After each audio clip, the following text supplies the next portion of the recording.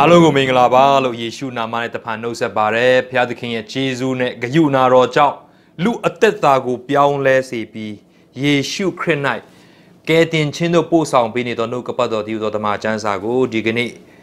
ဥပုသ္စာပြေသင်ခန်းစာများအဖြစ်လေ့လာတော့မှာဖြစ်ပါတယ်ဒီကနေ့သင်ခန်းစာကတော့ဒိုင်းယေလအနာဂတိကျမ်းဆိုတဲ့ဒီစာအုပ်လေးရဲ့ခေါင်းစဉ်ခွဲ6ခုဖြစ်တဲ့စိတ်ကြီးဝင်နေခြင်းမှ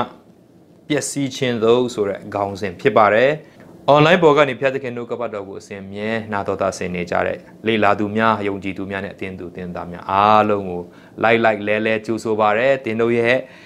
ကြည်ရှုခြင်း share ပေးခြင်း comment react ပေးခြင်းများအပြင်ဒီ video clip လေးကထိရောက်စွာတာ၍အမှုဆောင်နေခြင်းဖြစ်တယ်။တင်တို့နဲ့လက်တွဲအမှုဆောင်နေရခြင်းဖြစ်နေပါတယ်လို့ကျွန်တော်အနေနဲ့ဂုံယူစွာနဲ့ကျေးဇူးတင်စွာနဲ့ပြောပြချင်ပါတယ်။ဒီကနေ့ကျွန်တော်တို့နှုတ်ကပတ်တရား တင်ရမယ့်အကြောင်းအရာကတော့တိုင်းလာအခန်းကြီး9ကိုကျွန်တော်တင်သွားမှာဖြစ်တယ်ဒီအခန်းကြီး9တစ်ခုလုံးကိုကျွန်တော်တို့ခြုံငုံပြီးတော့တင်သွားမှာဖြစ်တဲ့အတွက်ကြောင့်ဘုရားသခင်တန်ရှင်းသောဝိညာဉ်တော်ကျွန်တော်တို့ကိုလမ်းပြပြီးတော့နားလည်နိုင်ဖို့အတွက်တော်၎င်းအသက်တာမှာလိုက်လျှောက်ဖို့အတွက်တော်၎င်းဖြစ်စေဖို့ရန်ကျွန်တော်တို့ဦးစွာတန်ရှင်းသောဝိညာဉ်တော်ကိုဆုတောင်းခြင်းအဖြစ်ဖိတ်ခေါ်ကြပါစို့ကောင်းကင်မြေကြီးကိုဖန်ဆင်းသားသမီးတို့ကိုချစ်တော်မူသောဖရာကိုရောသည်အနန္တတကူနှင့်ပြည့်စုံ၍ သားသမီးတို့၏ရှေ့အနာဂတ်တစ်ခုလုံးကိုလည်းကြိုတင်မြင်နိုင်သောဖယားဖြစ်ပါ၏ကိုတော်သည်နှိမ်ချလိုသောသူကိုနှိမ်ချ၍ချီးမြှောက်လိုသောသူကိုချီးမြှောက်တတ်သောဖယားရှင်ဘရင်တို့ကိုနှိမ်ချ၍ချီးမြှောက်နိုင်သောဖယားကျွန်တော်တို့အသက်တာအနှိမ်မြင့်အသက်ကြအကွေအကောက်တွေမှာကိုတော်သည်သားသမီးတို့ကိုထိန်ချုပ်နိုင်သောဖယားဖြစ်ပါ၏သားသမီးတို့အခုချိန်မှာကိုရနှုတ်ကပတ်တရားတော်ကိုစပြီးတော့လေ့လာကြမည်ဖြစ်ပါ၏ဝိညာဉ်တော်အဖင်ပို့ဆောင်တော်မူပါ ကျွန်ုပ်ရဲ့နှုတ်ရှာနှလုံးကိုကိုရောရှင်ဗိတ်သိက်ပေး၍ကိုရောရဲ့အလိုတော်ကိုဆောင်တော်သူအဖြစ်ကျွန်ုပ်ကိုအသုံးပြုတော်မူပါ။ဂျာနာသူအရောက်စီတိုင်းအသက်တာမှာလဲကိုရောနဲ့တာ၍နီးစေရပါမည်အကြောင်းဖြစ်စေတော်မူပါ။နှုတ်ကပတ်တော်ကိုသေချာခွဲခြားပိုင်းခြားလျက်ရှိနိုင်သောအခွင့်ကိုလည်းပေးသနာတော်မူပါ။စိတ်ကြီးဝင်ခြင်းမာနထောင်လွှားခြင်းသည်ကြာရှုံးမှုအတွက်ကြောက်စရာအကောင်းဆုံးသောအရာဖြစ်ပါ၏ထို့ကြောင့် ယခုနာထောင်နေသောသူအရောက်စီတိုင်းအသက်တာမှာစိတ်ကြီးဝင်နေခြင်းဘဝင်မြင့်နေခြင်းအမာနထောင်လွှားနေခြင်းသို့သောအရာများရှိခဲ့ပါကယခုချိန်မှာကိုရောစီမှာနောင်တနဲ့ပြန်လဲ၍ချင်းကပ်ပြီးအပြစ်များအခွင့်လွှတ်ခြင်းခံရသောအခွင့်နှုတ်ကပတ်တော်အဖင်ကိုရောရဲ့အာလိုရာလန်းကိုပြပါမည်အကြောင်းဤအချိန်နာရီမှာသာသမီတို့တူရှိပြီးသာသမီတို့ကိုနှုတ်ကပတ်တော်ဖွင့်ပြပေးသနာပါမည်အကြောင်းသခင်ယေရှုနာမတော်မြတ်၌ဆုတောင်းပါ၏ဖပါဗျာ အာမင်ဒီကနေ့ကျွန်တော်တို့ရွေးချယ်ထားတဲ့အလွတ်ကျမ်းချက်ကအတိုင်းလအခန်းကြီး1ထဲမှာတွေ့ရပါတယ်အခန်းကြီး1အငယ်27မှာတွေ့ရပါတယ်ဘယ်လိုရေးထားသလဲဆိုရင်ကာလအချိန်ဥတုများကိုပြောင်းလဲစေတော်မူ၏ရှင်ဘရင်တို့ကိုနှိမ်ချချီးမြှောက်တော်မူ၏ပညာရှိတို့အားပညာကိုပေးတော်မူ၏ဉာဏ်ရှိသောသူတို့သည်ကျေးဇူးတော်အားဖြင့်သာထိုးထွင်း၍နားလည်တတ်ကြ၏ဖာကြားတဲ့နှုတ်ကပတ်တရားတော် ကျွန်တော်တို့အသက်တာမှာတကယ်နားလည်ပြီးတော့လိုက်လျှောက်နိုင်ဖို့ရန်ဘုရားသခင်ဆက်လက်၍ကောင်းချီးပေးပါစေကျွန်တော်ဒီနေ့သင်မဲ့အကြောင်းအရာတွေထဲမှာအာတကယ်ဘာဘူးလုံမြို့ကြီး physically တကယ်ပဲလုံးဝကျသွားတဲ့အကြောင်းနဲ့ဘာဘူးလုံမြို့နောက်တစ်ခါပြန်မတည်တော့တဲ့အကြောင်းကျွန်တော်တွေ့ရမှာဖြစ်တယ်ဒီဒီဟာတွေကရှင်ဘရင်တွေရဲ့ထောင်လွှားခြင်းတွေကနေကြာရှုံးခြင်းဖြစ်တဲ့အကြောင်းလဲကျွန်တော်တို့အာဆက်လက်ပြီးတော့ ပါသွားရမှာဖြစ်ပါတယ်ဘာဘူးလုံမြို့ကြီးပြန်တီမလားပြန်တီမလားဆိုပြီးတော့ထင်နေတဲ့အကြားထဲမှာယူဒယေရုရှလင်မြို့ကိုယူဒလူတွေကိုလာပြီးတော့တိမ့်ပိုက်ပြီးတဲ့နောက်ပိုင်းမှာပထမတတုပ်ပြီးသွားပြီးဒုတိယတတုပ်အပြီးမှာရှင်ဘရင်ဇေဒကိကသူနန်းဆန်လေးနှစ်ပြည့်တဲ့အခါမှာဘာဘူးလုံမြို့ကိုဥတီပြီးတော့သူခရီးထွက်ခဲ့ပါတယ်သူတယောက်တည်းမဟုတ်ပဲနဲ့เนาะကလေးတွေလည်းတချို့ပါတယ်သူရဲ့ပညာရှိတွေလည်းတချို့ပါပါတယ် သူအတွင်းဝင်လည်းတယောက်ပါတယ်ဆိုတော့နေရိရဲ့သားအတွင်းဝင်စအရာရကဘာပြောတယ်လဲဆိုရင်အဲ့ဒီလူတွေရှေ့မှာသူကဖျားသခင်ရဲ့နှုတ်ကပတ်တရားတော်ယေရမိစီကနေလာတဲ့အကြောင်းအရာသူပြောပြခဲ့ပါတယ်အဲ့ဒီမှာသူဘာပြောပြတယ်လဲဆိုတော့ဒီဘာဘူးလိုမျိုးကြီးကတနေ့ကျရင်လုံးဝကွယ်ပြောက်သွားမယ်ဆိုတော့ prophet ပြုချက်သူပြောလိုက်ပါတယ်အဲ့ဒီသူပြောနေတဲ့အချိန်မှာတော့ဘယ်သူယုံနိုင်မလဲဒါဟာတာပဲပေါ့ ဒါမနာလို့ဖြစ်လို့သူတို့ကိုဖမ်းနေလို့သူ့ကိုအဲ့လိုဟောအဲ့ဒီဘာဘူးလိုမျိုးကြီးကိုပြောတာပဲလို့ထင်ရင်ထင်ရလိမ့်မယ်ဒါပေမဲ့ तू ဘယ်လိုလုပ်ရမလဲဆိုတာကိုယေရမိကပြောထားဟန်ရှိပါရဲ့သူဖတ်တဲ့ prophet ပြုချက်စာရွက်နဲ့သူကြောက်တုံးတုံးယူလာတယ်တဲ့အဲ့ဒီစာရွက်ကိုသူကျိုးနဲ့ခြီပြီးတော့ကြောက်တုံးကိုကျိုးနဲ့ခြီပြီးတော့အဲ့ဒီစာရွက်ကို Euphrates မြစ်ထဲကိုသူပစ်ချလိုက်တယ်တဲ့နော်ပစ်ချလိုက်တဲ့အခါကျဒီစာရွက်က နော်ကြောက်တုံးကအဲ့ဒီစာရွက်ကိုရေထဲမှာတခါတည်းဆွဲသွားတယ်လို့ပဲလုံးဝဘာဘူးလိုမျိုးကြီးပြန်ပေါ်လာမှာမဟုတ်ဘူးဆိုတဲ့နမိတ်လက္ခဏာကိုပြောသွားတာဖြစ်တယ်ယေရမိ51 63နေမှာကျွန်တော်ဖတ်လို့ရပါတယ်ဒီအကြောင်းနဲ့ပတ်သက်ပြီးတော့ဘုရားသခင်ကကြိုတင်ပြောထားပြီးဘာဘူးလုံကြာရှုံးမယ်ဒါပေမဲ့လည်းအဲ့ဒီသူပြောနေတဲ့အချိန်မှာတော့ဘာဘူးလုံကတော့အင်အားကောင်းလုံးပဲရှိပါတယ်ပြီးခဲ့တဲ့ပတ်တုန်းကကျွန်တော်တို့ဘာဘူးလုံရဲ့ခန္ဓာထဲဝါခြင်းသူ့ရဲ့ခိုင်ခန့်ပုံကျွန်တော်တို့အာအနေချင်းပြောသွားပြီးပါပြီဒီတော့ အဲ့ဒီမြုပ်ကြီးကဘာဖြစ်လို့တကယ်ပဲအဲ့လောက်ကြီးလုံးဝပြန်မပေါ်လောက်အောင်ပျောက်သွားနိုင်မလဲဆိုတဲ့မေခွန်းဟာဒုတ်လောဒုတ်လောဖြစ်စေနေတဲ့အကြောင်းအရာတစ်ခုဖြစ်ပါတယ်ပြီးတော့နောက်တစ်ခုရှိတာဒီကနေ့တင်မဲ့တင်ခန်းစာထဲမှာအုတ်ခဲတစ်ချက်တောင်မှမပြိုကြပဲနဲ့ဒီဘာဘူးလိုမျိုးကြီးကိုလာတိမ့်ပိုက်သွားတာဖြစ်တယ်နော်များလေးသစင်းတောင်မှမပစ်ပဲနဲ့ဒီမြုပ်ကိုလာတိမ့်ပိုက်သွားတာဖြစ်တယ်ဒီတော့ဒီလောက်အေးအေးဆေးဆေးနဲ့တိမ့်ပိုက်သွားတဲ့ဒီဘာဘူးလိုမြုပ်ကြီးဘယ်လို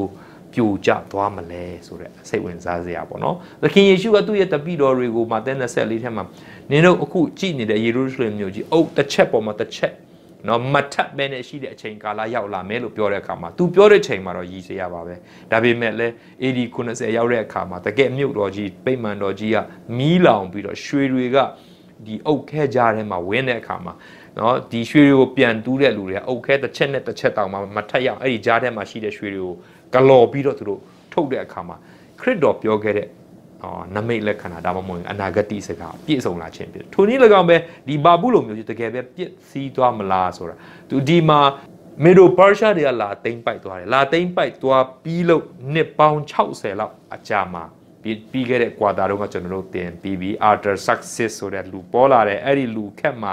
ဒီဘာဘူးလိုမြုပ်ထဲမှာရှိတဲ့လူတွေက အဲ့ဒီရှင်ဘရင်ကိုသူတို့ကတုံးလန်တွန်းလန်တာဖြစ်တယ်ဒါမှမဟုတ်ပုံကန်တာဖြစ်တယ်သူကတော့မေရိုပါရှားကဒီမှာဒီဘာဘူးလုံကိုလာတိမ့်ပိုက်တဲ့အချိန်မှာသူတို့ရဲ့မြုပ်တော်ကိုတခြားနေရာမှာလည်းထားတယ်အဲ့ဒါကဆူဆန်ဖြစ်တယ်ကျွန်တော်နေဟေမိအခန်းကြီး1အငယ်1နဲ့2လောက်မှာရှိမှထင်တယ်ဆိုတော့ဆူဆန်မြုပ်မှာသူတို့မြုပ်တော်ကိုပြောင်းတယ်ဘာဘူးလုံလည်းသူတို့မြုပ်တော်တစ်ခုပါပဲမြုပ်တော်3 3ခုထားထားတာကျွန်တော်တွေ့ရတယ် ဆိုအဲ့ဒီထဲမှာအဲ့ဒီလိုသွားထားတဲ့အချိန်မှာသူကလမ်းပြီးတော့အုပ်ချုပ်တဲ့အခါမှာအဲ့ဒီကလူတွေပုံကန်ဟန်ရှိတယ်အဲ့ဒီအချိန်မှာမြုပ်တော်အဲ့ဒီဘာဘူးလုံမြုပ်ကြီးတော်တော်လေးဖြက်စီးပစ်လိုက်ဟန်ရှိပါတယ်ပြီးတော့ Middle Persia ခက်ပြီးတဲ့နောက်မှာ Greek ခက်ဖြစ်ပါတယ် Greek ခက်မှာ Alexander ကဒီမြုပ်တော်ကိုပြန်တီးဖို့ကြိုးစားခြင်းပါသေးတယ်ဒါပေမဲ့ तू မအောင်မြင်ခဲ့ဘူး तू မဆောက်ခင်မှာ तू လုံးဝတည်သွားတာတွေ့ရတယ်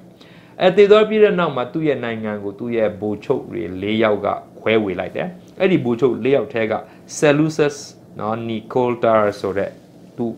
သူအဲ့ဒီရှင်ဘယင်ခက်မှာသူတို့ဘယင်၄ယောက်ဖြစ်သွားတယ်ဆိုတော့သူအစ်စ်သူကြီးပေါ့နော်အဲအဲ့ဒီခက်မှာကျတော့သူတို့ကဒီဘာဘူးလုံနဲ့မိုင်ပေါင်း185ကီလိုမီတာလောက်ရှိတယ်เนาะကီလိုမီတာဖြစ်တယ်မိုင်မဟုတ်ဘူးအဲ့ဒီမှာသူတို့ကမြုပ်တီမဲဆိုပြီးတော့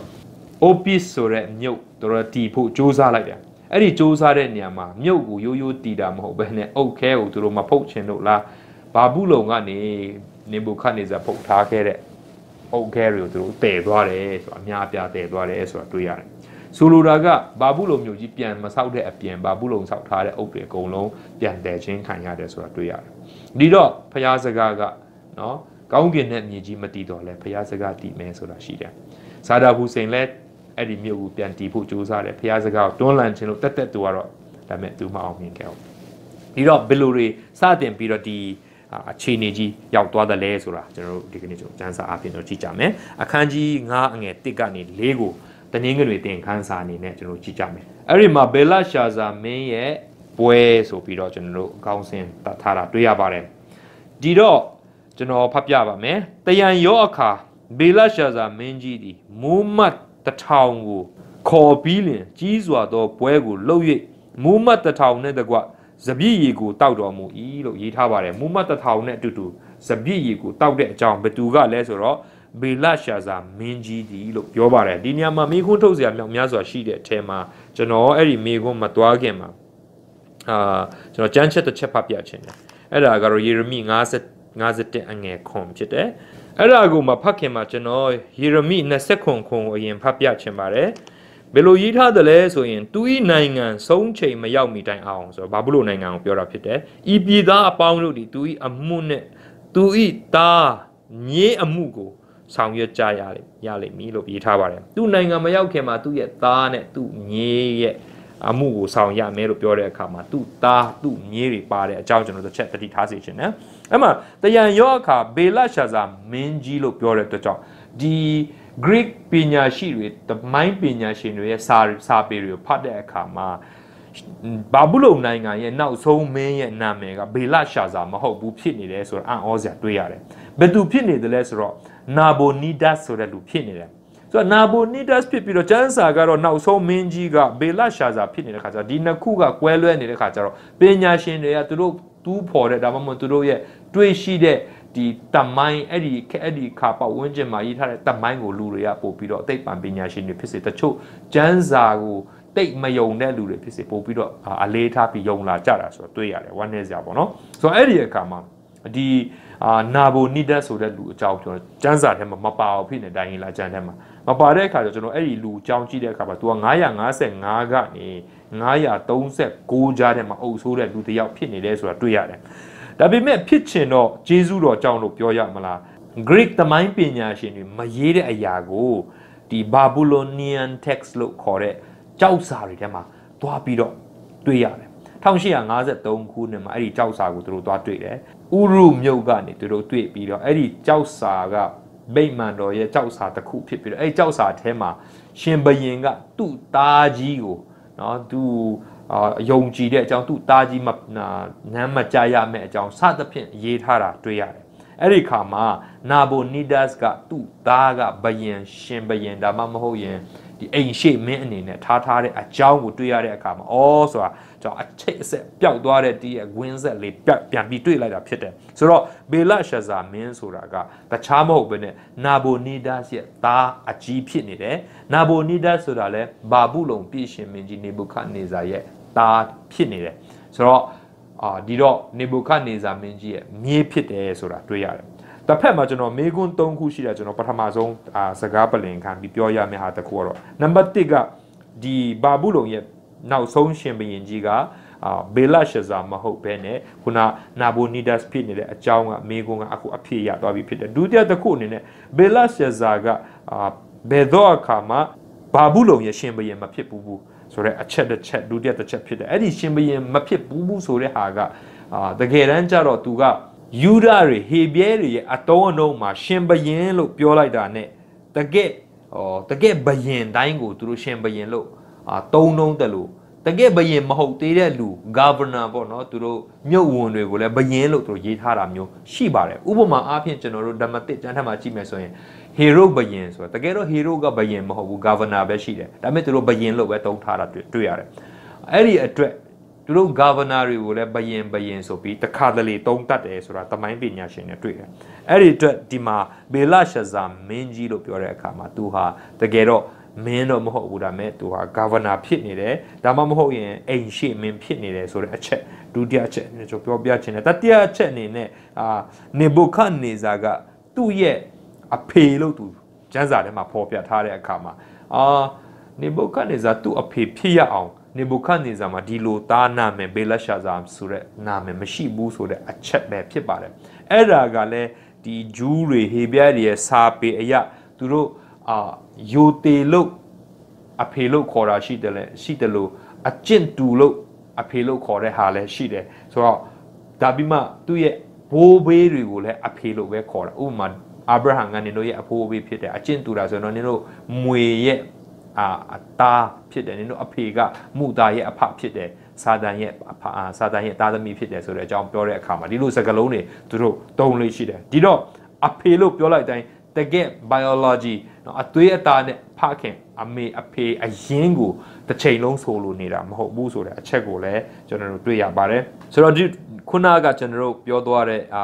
ဘာဘူးလုံပြန်မတီးဘူးဆိုတဲ့အကြောင်းအရာကလည်းယေရမိ51အငယ်6မှာကျွန်တော်တွေ့ရတယ်ငါတို့ဒီဘာဘူးလုံမြို့ဤအနာကိုပျောက်စေခြင်းကပြုတ်တော်လဲအနာမပျောက်နိုင်သူသူ့ကိုစွန့်ပြည့်အတီးအတီးငါတို့အနေရင်းပြည်တို့သွားကြကုန်အံသူခံရသောအပြစ်ဒီကောင်းကင်တိုင်အောင်ရောက်၍မိုးတိမ်ကိုထိလျက်ရှိ၏ဆိုတော့သူအနာမပြောက်နိုင်ဘူးကျွန်တော်တို့တားရဲအကြောင်းလေးလာပြီဆိုအနာပြန်ပြောက်တယ်ဆိုတာပြန်ပြီးပေါ်လာတာကိုပြောပြီးတော့အနာလုံးဝမပြောက်နိုင်ဘူးဆိုတာပြန်မပေါ်လာနိုင်တော့ဘူးဆိုတဲ့အချက်ကို ဒီမှာပြောပြခြင်းဖြစ်တယ်ဆိုတော့ယေရမိ51ကိုဖတ်မယ်ဆိုရင်ကျွန်တော်တို့ဒီဘာဘူးလိုမျိုးကြီးကြဆုံးတဲ့အကြောင်းကိုလည်းကျွန်တော်တစ်ဖက်မှာကျွန်တော်တို့အများကြီး prophet ပြုတ်ထားတာတွေ့ရပါတယ်ဒီတော့သူ့အာဒီမင်းကြီးကမူမတ်တွေခေါ်ပြီးတော့ပွဲခံတယ်ဆိုတဲ့အကြောင်းတွေ့ရတယ်အဲ့ဒီမှာသူတို့ဘာလုပ်တယ်လဲဆိုတော့စပြည့်ရီတောက်တယ်ဆိုတော့ဒီကြမ်းတက်တဲ့လူတွေကစပြည့်ရီမကပဲနဲ့သူတို့မှာ BR တွေပါလိမ့်မယ်လို့ပြောပါတယ်ဘာဖြစ်လို့လဲဆိုတော့ဘာဘူးလုံနိုင်ငံမှာတဲ့ အဲ့ဒီအဲ့ဒီခါတော့သူတို့မှာ BR တစ်မျိုးရှိတယ်တဲ့အဲ့ဒီ BR ကအရန်နာမယ်ရှိတယ်ပွဲတိုင်းအဲ့ခံတဲ့အသုံးပြုတဲ့ BR မျိုးဖြစ်တယ်ဆိုတော့အဲ့ဒီ BR ကတကယ်တော့သူတို့စပြည့်ရီထက်ပိုပြီးတော့ပြင်းတယ်လို့ပြောပါတယ်ကျမ်းစာထဲမှာတေရီတေရက်လို့အာတေရီဆိုပြီးတော့ရေးထားတဲ့စကားလုံးတွေကအဲ့ဒီဘီယာတစ်မျိုးကိုခေါ်နေတာဖြစ်တယ်လို့တချို့ကျမ်းသက်တွေကသုံးသပ်ထားတာတွေ့ရပါတယ်ဆိုတော့စပြည့်ရီကိုမြည်သောအခါငယ်နှစ်မှာ ယေရုရှလင်မြို့ဗိမာန်တော်ထဲကခမီးတော်နေဘုခတ်နေဇာတင်းယူဆောင်သောရွှေဖလားငွေဖလားတို့နှင့်ကိုတော်တိုင်မှဆ၍မင်းသားမိဖုရားမောင်းမမိတ်တန်တို့ဒီတောက်ရမည်အကြောင်းထိုဖလားကိုယူခဲ့ရမည်မိတ်တော်ရှိသည့်အတိုင်းလို့ပြောပါတယ်ဒီညမှာစပြည့်ရီကိုမီးစမ်းသောအခါလို့ပြောတယ်တကယ်တော့ကျွန်တော်တေချာဖတ်တဲ့အခါမှာ तू ကစပြည့်ရီတောက်လို့မူးနေပြီအဲ့ဒီအချိန်မှာ ယေရုရှလင်မြို့တော်ထဲကသူ့ရဲ့ခမီးတော်နေဘုခတ်နေဇာဒီမှာခမီးတော်ဆိုတဲ့စကားခုနကကျွန်တော်ရှင်းပြီးပြီဖြစ်တယ်ဒီအခန်းကြီး9ထဲမှာခမီးတော်ဆိုတဲ့စကားကို6ချိန်သုံးထားတာတွေ့ရပါတယ်ခမီးတော်ခမီးအာဒီကနေဘုခတ်နေဇာကိုခမီးတော်ခမီးတော်နဲ့ထက်ခါထက်ခါ6ချိန်တောင်သုံးထားပါတယ်ဆိုတော့သူ့ရဲ့ခမီးတော်တိန်းသွားတယ်သူသူခမီးတော်ကတိန်းတဲ့အချိန်မှာဘယ်မှာသွားထားလဲဆိုတော့သူတို့ရဲ့နတ်ဖျားတွေထားတဲ့အာဗိတ်မှန်တော်သူတို့ရဲ့ဗိတ်မှန်တော်ထဲမှာထားတယ်လို့အခန်းကြီး1ထဲမှာဖော်ပြထားပါတယ် ကျွန်တော်တို့အဲ့ဒါရှင်းပြီးပြီဖြစ်တယ်အဲ့ဒီအရာတွေကိုပဲအာနေဟေမိတို့အုပ်စုပြန်သွားတဲ့အချိန်မှာဣဇရာတို့အုပ်စုပြန်သွားတဲ့အချိန်မှာတည်သွားတယ်ဆိုတာလည်းကျွန်တော်တို့ပြီးခဲ့တဲ့ကွာတာတော့ကကျွန်တော်တင်ပြီးပြီဖြစ်တယ်ဘာပဲဖြစ်ဖြစ်ဒီနေရာမှာသူ့အဖေကသူကိုယ်တိုင်ကအာယေရုရှလင်မြို့ကိုဖျက်ဆီးတယ်အဲ့ဒီကပစ္စည်းတွေအကုန်လုံးတန့်ရှင်းတဲ့ပစ္စည်းတွေအကုန်လုံးတည်လာတယ်ဒါပေမဲ့တစ်ချိန်တည်းမှာ तू ကရိုးရိုးတည်တည်နဲ့သူ့ဖျားတွေထားထားတဲ့သူ့ဖျားရဲ့ပစ္စည်းတွေထားပနာထားတဲ့နေရာဒါမှမဟုတ် တူထားတဲ့နေရာမှာပဲထားထားတယ်ဆိုတာတနည်းအားဖြင့်ယိုတေမှုပေးသေးတယ်ဆိုတာတွေ့ရပါတယ်ဒါပေမဲ့လည်းသူ့ရဲ့မြေးခက်မှာဘေလရှာဇာမင်းကြီးခက်မှာကျတော့အဲ့ဓာကိုမယိုသေးတဲ့ပြင်အဲ့ဓာတွေကိုယူပြီးတော့မလောက်လေးစားလုပ်တဲ့အနေနဲ့သူတို့အရက်တောက်ပြခဲ့ပါတယ်သူတို့ရဲ့အမြင်မှာဘာရှိတယ်လဲဆိုတော့လူတယောက်ဟာဒီနိုင်ငံကိုတိမ့်ပိုက်ပြီဆိုရင်ဒီဖျားအဲသူတို့ကိုးကွယ်နေတဲ့ဖျားကိုနိုင်တယ်လို့ယုံကြည်ယုံမကပဲနဲ့ဥပမာအားဖြင့် သူတို့ကဟိုနေဖျားကိုကိုးကွယ်တယ်ဆိုပါစို့ဟိုဘက်ကလူကလဖျားကိုကိုးကွယ်တယ်လဖျားကိုနေဖျားဖက်ကလူတွေသွားတိုက်တဲ့အချိန်မှာသွားနိုင်ခဲ့ရင်အဲ့ဒီတကယ်အကောင်းကင်မှာလဲအဲ့ဒီနေဖျားကလဖျားကိုတကယ်နိုင်တယ်ဆိုတော့ခံယူယုံကြည်ချက်အဲ့ဒီခက်တုံးကလူတွေမှာရှိပါတယ်ဒီတော့တစ်ဖက်မှာကြည့်ရမယ်ဆိုရင်ဘာဘူးလုံပြည့်ရှင်မင်းကြီးဒါမှမဟုတ်ဘာဘူးလုံအင်ရှေမင်းကြီးကသူကအာဘာလှုပ်လိုက်တယ်လဲဆိုတော့ သူဗိမာန်တော်ထဲကအရာတွေကိုယူပြီးတော့အဲ့လိုလှုပ်လိုက်ခြင်းအပြင်သူကဒီဖျားတွေကိုနိုင်တယ်ဆိုတော့အော်အကြောင်းပြနေတာဖြစ်ပါတယ်ဒီဖျားတွေဆိုတဲ့စကားလုံးကျွန်တော်သုံးလိုက်ခြင်းအကြောင်းရင်းက commentators တွေကယုံတာကအဲ့ဒီနေ့မှာသူတို့ယူသုံးတဲ့ခွက်တွေကအာဒါယေရုရှလင်ကနေယူတဲ့ခွက်တစ်မျိုးတည်းမှာဖြစ်ပဲနဲ့တခြားနိုင်ငံတွေတိမ့်သမျှအကုန်လုံးထဲရတဲ့ဟာတွေလည်းသုံးတာဖြစ်နိုင်တယ်လို့သုံးသပ်ထားပါတယ် ကျွန်တော်အနေနဲ့တော့ဗာပဲပြောပြောဒီမှာတော့ယေရုရှလင်မြို့ကနေယူလာတဲ့ဟာလို့ရေးထားတဲ့ကြောင့်အဲ့လိုရိုးရိုးရှင်းရှင်းယုံချင်ပါတယ်ဗာပဲပြောပြောလှုပ်တဲ့အရာကတော့ယေရုရှလင်မြို့ကဗိမာန်တော်ထဲကတန့်ရှင်းတဲ့အရာတွေကိုသူတို့ကအရက်တောက်ဖို့အတွက်အသုံးပြုတယ်ဆိုတာတွေ့ရတယ်ဒီတော့ဖျားသခင်ကသူတန့်ရှင်းတယ်လို့တတ်မှတ်ထားတဲ့အရာကိုမလေးမစားမထီမဲ့မပြုခြင်းကိုလုံးဝမကြိုက်ဘူးအရင်တုန်းကလည်းဖယ်လီစတိုင်းတွေကပြည့်ညတ်တော်10ပါးပရိညင်တစ်တာကိုသူတို့ရဲ့ဒရာဂုန် ဖျားထဲမှာသွားပြီးတော့တူထားဘူးတယ်နောက်တနေ့ကျတော့အဲ့ဒီဒရာဂုန်ဖျားကြီးခေါင်းပြက်ချက်ပြက်ထွက်သွားတယ်ဆိုတာရှာမွေလာခက်တုန်းကတွေးရတယ်ထိုနည်း၎င်းပဲဖျားလူတွေကပဲဖျားရဲ့ပြည့်ညတ်တော်10ပါးထားထားတဲ့ဒီပရိညင်တက်တာတော့လဲပေါ်ကနေပြုတ်ကြခါနေမှာသွားထိန်းတာတော့မှအထိမခံဘူးတည်သွားတယ်ဆိုတော့တွေ့ရတယ်ဒီတော့ဘုရားသခင်ကအထွတ်အမြတ်ထားတဲ့အရာတစ်ခုကိုသွားပြီးတော့မထီမဲ့မြင်ပြုခြင်းပြီးတော့အရက်တောက်ဖို့အတွက်ထားသုံးပစ်လိုက်ခြင်းဟာ ဖယားသခင်ကလုံးဝမကြိုက်ဘူးဆိုတာဒီနေရာမှာသူ့ရဲ့ key point တစ်ခုဖြစ်ပါတယ်ဖယားသခင်ကသူ့ရဲ့ဗိမာန်တော်တုံဗိမာန်တော်ထဲမှာသုံးပြုတဲ့ဒီတစားပလာတွေဖယားသခင်ရဲ့အသွေးတော်နဲ့ရွေးနှုတ်ထားတဲ့အရာမဟုတ်တဲ့ဒီတစားပလာတွေတောင်မှတန်တန့်ရှင်းရှင်းထားတာကိုကြိုက်တယ်အရက်တောက်ဖို့အတွက်သုံးတာကိုမကြိုက်ဘူးဆိုရင်တင်တဲ့ကျွန်ုပ်ရဲ့ဒီခန္ဓာကိုဟာ တန့်ရှင်းသောဝိညာဉ်တော်တဲကိုတဲ့ဗိမာန်တော်ဖြစ်တဲ့အသွေးနဲ့ဝယ်ထားတဲ့ဗိမာန်ဖြစ်တယ်လို့ပြောပါတယ်ဒီဗိမာန်တန့်ရှင်းတဲ့ဗိမာန်ထဲမှာအသွေးနဲ့ဝယ်ထားတဲ့ဗိမာန်ထဲမှာကျွန်တော်တို့အရက်တောက်လို့ရမလားဆိုတဲ့အမေကုန်းကိုကျွန်တော်တို့ပြန်ပြီးတော့စဉ်းစားဖို့လိုအပ်ပါတယ်ကျွန်တော်တို့ဒီနေရာမှာ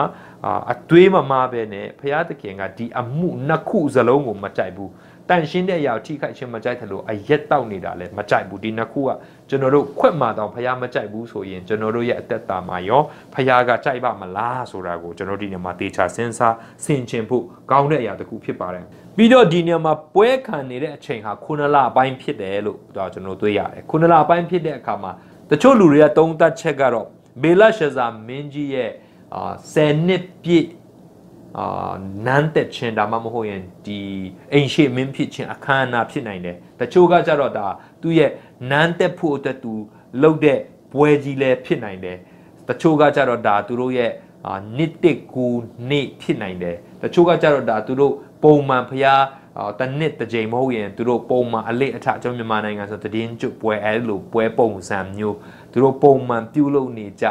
လာပညာတစ်ခုဖြစ်နိုင်တယ်လို့ယုံကြည်တာဖြစ်ပါတယ်သူတို့ကတော့ ဖျားအမျိုးမျိုးကူးကွယ်တဲ့ထက်မှာလလပြည့်တဲ့ညမှာကိုးကွယ်တဲ့ဖျားတစ်မျိုးလဖျားမျိုးပေါ့နော်အဲ့ဒါလည်းရှိတယ်ဆိုတော့တွေ့ရတယ်။ဘာပဲပြောပြောကျွန်တော်တို့အဲ့ဒီပွဲကတော့သူတို့အတွက်နောက်ဆုံးကျင်းပတဲ့ပွဲဖြစ်သွားစေတယ်။မွေးနေ့ပွဲတော့မဟုတ်ဘူးဆိုတာလည်းကျွန်တော်တို့တစ်ဖက်မှာအာသမိုင်းတွေအရာကျွန်တော်တွေ့ရတယ်။ဘာဖြစ်လို့လဲဆိုတော့မွေးနေ့ပွဲဆိုတာအထူးသူ့ရဲ့မွေးနေ့နဲ့အထူးပေါ်ပြမှာဖြစ်တယ်။နောက်ထပ်တစ်ခုသူ့ရဲ့နောက်ခံလေးတစ်ခုကျွန်တော်ရှင်းပြချင်တာကတော့အဲ့ဒီကာလက ဘယ်နေ့မှာဖြစ်ပျက်နေတဲ့ကာလလဲဆိုတော့900အာ939အောက်တိုဘာလ12ရက်နေ့ညဖြစ်တယ်အဲ့ဒီကျင်းပတဲ့ညကဆိုတော့အဲ့ဒီညအဲ့ဒီပတ်ဝန်းကျင်အာနော်ဘာတွေဖြစ်ပျက်နေတယ်လဲဆိုတော့သူ့အဖေ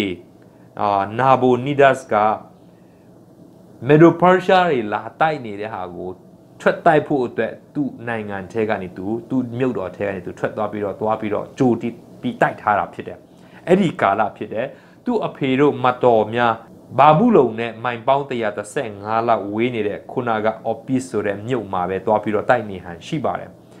အဲ့ဒီလိုစစ်တွေတိုက်နေတဲ့ကာလမှာဒီပွဲကြီးခံနေတာဖြစ်တယ်တစ်ဖက်မှာသူ့ရဲ့မြို့ပြီးခဲ့တဲ့ပတ်တုန်းကကျွန်တော်ရှင်းပြပြီးပြီးအာပေပေါင်း100နဲ့10ပေလောက်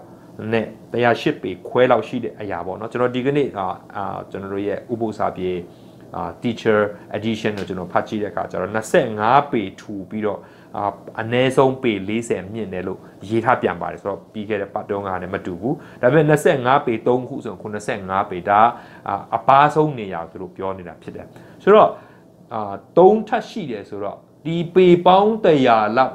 25ပေမျိုး3ထပ်လောက်ကိုဖြိုခွင်းပြီးတော့အဲ့ဒီမြုပ်ကိုလာတိမ့်ပိုက်ဖို့ဆိုတာလုံးဝမဖြစ်နိုင်ဘူးအဲအဲ့လိုသူကယူဆထားတာဖြစ်ဟန်ရှိပါတယ် အဲ့ဒီအတွက်ဘလောက်ပဲသူတို့အဲ့ဒီမြုပ်ကိုလည်းအဲ့ဒီချိန်မှာဝိုင်းနေဟန်ချင်းကပ်နေစစ်သားရဲ့စစ်တခြားစစ်သားတွေဒီ Middle Persia စစ်သားတွေဝိုင်းနေဟန်ရှိပါတယ်အဲ့ဒီအချိန်မှာ तू ဘလောက်ထိ confidence ရှိတယ်လဲဆိုတာဝမ်းနေစရာเนาะ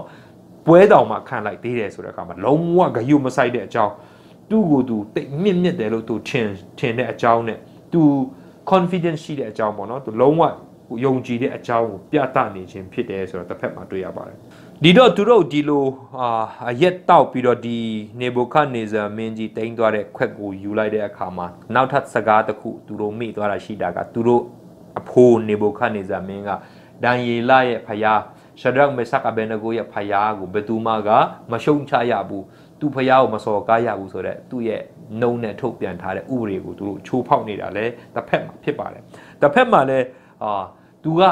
အရက်မူးနေပြီဖြစ်တဲ့အတွက်ကြောင့်သူ လှုပ်ချင်တာတွေဇွတ်လှုပ်နေခြင်းဖြစ်တယ်မြန်မာစကားမှာရှိတယ်ထရေမူးမှကျွဲခိုးပေါ်တယ်ဆိုတဲ့စကားဆိုတော့ तू အရက်မူးလာတဲ့အခါမှာ तू တကယ်လှုပ်ချင်တဲ့ဟာတွေလှုပ်သွားဟန်ရှိပါရဲ့အဲ့ဒီမှာ तू ကအဲအဲ့လိုသူများဖယားကိုစော်ကားလိုက်ခြင်းအဖြစ်သူ့အနေနဲ့ လုံးဝအဆုံးရှုံးသွားခြင်းအစတင်နေတာဖြစ်ပါတယ်ဆိုတော့ဒီအခန်းငယ်3နဲ့4ကိုကျွန်တော်ဆက်ပြီးဖတ်ပြခြင်းနဲ့ယေရုရှလင်မြို့၌ရှိသောဘုရားသခင်ဗိမာန်တော်တိုက်ထဲက တင်းယူခဲ့သောရွှေဖလားတို့ကိုယူခဲ့၍မင်းကြီးမင်းသားမိဖုရားမောင်းမမိတ်တန်တို့သည်ထိုဖလားတို့နှင့်တောက်ကြ၏စပြည့်ရီကိုတောက်၍ရွှေဖရားရွှေဖရားငွေဖရားကြေးဝါဖရားတန်ဖရားတစ်သားဖရားကြောက်ဖရားတို့ကိုချီးမွမ်းကြ၏ဆိုပြီးတော့6မျိုးကိုဖော်ပြထားပါတယ်ဆိုတော့ဒီဗိမာန်တော်ထက်ခွက်ယူလာတာသုံးဖို့မသုံးဖို့မတင့်တော်ဘူးတင့်တော်တယ်ဆိုတာဒီလူတွေက ဒီသူ့ရဲ့နောက်လိုက်တဲ့လူတွေပေါ့နော်ဒီမိဖရားမင်းသားမောင်မမိတ်တန်တွေကမတိတာမဟုတ်ဝန်ကြီးတွေကမတိတာမဟုတ်တိတယ်ဒါပေမဲ့လည်းဘယင်ကအဲ့လိုလှုပ်ဆိုတော့လည်းအကုန်လုံးဝိုင်းလှုပ်ကြတာပဲဒီအကြောင်းအရာနဲ့ဆက်လင်းပြီးတော့ ဗျာဒိတ်ခန်းကြီးဆက်ခွန်ငယ်၄ကနေ6ထက်မှကြည့်တဲ့အခါကျတော့အဲ့ဒီအမျိုးသမီးနဲ့သွားတူတယ်ဘာဘူးလို့အမျိုးသမီးနဲ့သွားသူကတော့နိုင်ငံမှာရှိတဲ့မင်းသားတွေလူတွေလူမျိုးတွေခေါင်းဆောင်တွေအကုန်လုံးကိုသူ့ရဲ့စပိရေကိုတိုက်တယ်သူတို့တွေအကုန်လုံးကတောက်ပြီးတော့သူ့နောက်လိုက်နေကြတယ်ဆိုတာတွေ့ရတယ်တစ်ဖက်မှာသူ့ရဲ့စပိရေကိုတိုက်တဲ့အခါမှာဒီလူတွေအကုန်လုံးမူးကြတယ်ဆိုတာတွေ့ရတဲ့အခါမှာဒီလိုပဲဒီမှာတကက်ရှင်ဘရင်ကြီးက သူ့စပြည့်ရီကိုတကယ်ပဲတိုက်တဲ့အခါမှာဒီလူတွေအကုန်လုံးမူးကြတယ်။မာဤမာဤကိုမခွဲခြားတော့မယ်သူတို့ရဲ့ယာဒူးကြောင့်အဲ့ဒီလူနောက်ကိုပဲဒါဆက်ပြီးတော့လိုက်သွားတယ်ဆိုတာတွေ့ရတယ်။ဒီအချင်းအရာကိုအကြောင်းပြုပြီးဘုရားသခင်ကဗျာဒိတ်ပြန်ပြီးတော့ပေးပြီးတော့ဒီဟာကိုပြန်ပြီးတော့မြင်ရောင်အောင်တိတာအောင်ဆိုပြီးတော့ဗျာဒိတ်ထဲမှာပေးထားခြင်းသားလင်ဖြစ်ပါတယ်။ဒီစပြည့်ရီကဘာကိုပုံဆောင်နေတယ်လဲဗျာဒိတ်ထဲမှာဆိုရင်တော့နော်သူတို့ကိုမူးစေတဲ့ဒီ doctrine ဒီအယူဝါဒတွေကိုလုံးဝမာယွန်းအောင်လုပ်လိုက်တဲ့အရာကိုအဲ့ဒီ system အဲ့ဒီစနစ်ကြီးကိုပုံဆောင်ထားတာဖြစ်တယ်အဲ့ဒီဟာကဘယ်အချိန်မှလဲဆိုတော့တရားစီရင်မှုမရောက်ခင်လေးမှာဖြစ်ပျက်တဲ့အကြောင်းအရာဖြစ်တယ်။အော်ခုနကျွန်တော်တခုပြောဖို့မေ့သွားသေးတယ်။အဲ့ဒါကတော့သူတို့ခုနလပိုင်းဆိုတာကဘာဘူးလုံခုနလပိုင်းနဲ့ဒီဂျူးတွေရဲ့ခုနလပိုင်းသွားတူပြီးတော့တကယ်တမ်းကျတော့ဒီဂျူးတွေအတွက်ဒီခုနလပိုင်းမှာ atonement day of atonement ပေါ့နော် နှစ်စဉ်တရားစီရင်ခြင်းမရောက်အောင်ရောက်ပြီးလို့9ရက်မှာဖြစ်ပျက်တဲ့အကြောင်းအရာဖြစ်တဲ့အောက်တိုဘာလ10 12ရက်နေ့မှာဖြစ်ပျက်တဲ့အကြောင်းအရာဖြစ်တယ်ဒီတော့ငယ်လေးကိုကျွန်တော်ကြည့်တဲ့အခါမှာစပြည့်ရည်ကိုတောက်တဲ့အခါမှာဒီဖယား6မျိုးအကြောင်းပေါ်ပြထားရဲဆိုတော့ကျွန်တော်ပြီးခဲ့တဲ့သင်ခန်းစာပြောသလိုသူတို့ဘာဘူးလုံနဲ့နာမတ်ရေးပြီးဆိုရင်60နဲ့ရေးတယ်6ကနန်းကိုအင်မတန်မှသူတို့အတွက်အရေးကြီးအောင်သူတို့ထားထားတယ်ဆိုတော့ဒီမှာဖယား6မျိုးပါလာတဲ့အခါမှာတနည်းအားဖြင့်သူတို့ဒီဝတ်ပြုကိုးကွယ်ခြင်းနဲ့ပတ်သက်ပြီးတော့လုံးဝစုံလင်တဲ့ကိုးကွယ်မှုပေးတယ်ဆိုတာကိုတစ်ဖက်မှာဖော်ပြပေးထားတာဖြစ်ပါတယ်ဒီတော့ဒီအာပြတ်သွားတဲ့ဒီဖယားတွေကိုကြည်တဲ့အခါမှာလဲတစ်ဖက်မှာအခန်းကြီး1မှာဘာဘူးလို့ပြည့်ရှင်မင်းကြီးမြင်ရောင်တဲ့ရုပ်ထုကြီးရဲ့အာဒီထဲမှာပါတဲ့အချင်းအရာတွေအကုန်လုံးနဲ့သွားတူနေတာတွေ့ရတယ်မတူတာလေးဆိုလို့ကတော့ဒီရှွန့်ဈေးနဲ့ တစ်သားကိုပြောင်းထားတာတွေ့ရတယ်ကျန်တာအကုန်လုံးအတူတူတွေပဲဖြစ်တယ်ဆိုတာတွေ့ရပါတယ်ဒီတော့ဘာဘူးလုံတွေရဲ့ဝတ်ပြုကိုးကွယ်ခြင်းစနစ်ထဲမှာလုံးဝအစုံအလင်သူတို့တွေအားလုံးမျောပြီးတော့သူတိုက်တဲ့စပြည့်ရင်နဲ့မူရစ်နေကြတယ်သူရဲ့ doctrine ထဲမှာမူရစ်နေကြတယ်ဆိုတော့နောင်ကာလအတွက်နမိတ်လက္ခဏာပြုထားတာဖြစ်ပါတယ်ဆိုတော့အတူပြီးအတူပြန်ချုပ်ပြီးပြောမယ်ဆိုရင်ဒီရှင်ဘရင်ကြီးရဲ့အဓိကမာယွန်ချက်ကဘာလဲဆိုတော့သူကဖယားရဲ့တန့်ရှင်းတဲ့ နေရာမှာထားထားတဲ့အကြောင်းအရာ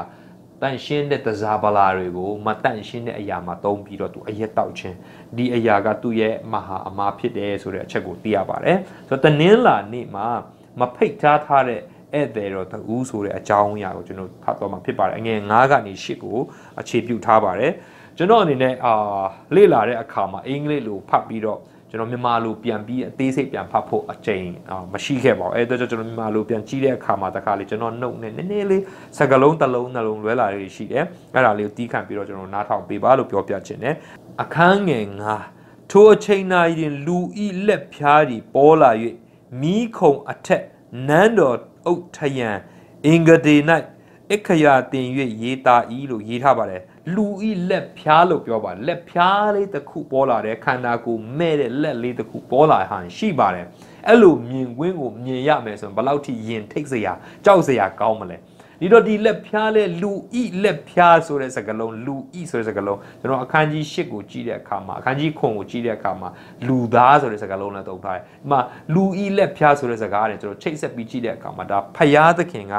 ရေးတယ်လို့ကျွန်တော်ထင်စရာလဲအကြောင်းရှိပါတယ်တချို့နေရာတွေမှာတော့ဖျားသခင်ဆေလွတ်တယ်လို့ရေးထားပြန်တဲ့အခါမှာကောင်းကင်တမန်ဖြစ်တယ်လို့လည်းတချို့ကဒီကြမ်းချက်ထဲမှာပဲပြန်ပြီးတော့သုံးသပ်ထားတာရှိပါတယ်။ဘာပဲပြောပြော ဖယားသခင်ရဲ့ပါဝင်ခြင်းဒီနေရာမှာသူတို့မဖိတ်တဲ့ဧည့်သည်တယောက်ရောက်လာတာဖြစ်တယ်။အဲ့ဒီလက်ပြားလေးကနိုင်ရန်ပေါ်မှာသူတို့ရဲ့အင်္ဂတိပေါ်မှာစာရေးတယ်လို့ရေးထားပါတယ်။ဆိုတော့မိခုံအထက်လို့ပြောတဲ့အခါမှာထင်ရှားမြင်သာတဲ့နေရာမှာပေါ်ပြလိုက်ခြင်းဖြစ်တယ်။တစ်ဖက်မှာကျွန်တော်တို့ပြီးခဲ့တဲ့ခေါက်တော့ကပြောပြတယ်လို့ပဲသူတို့ရဲ့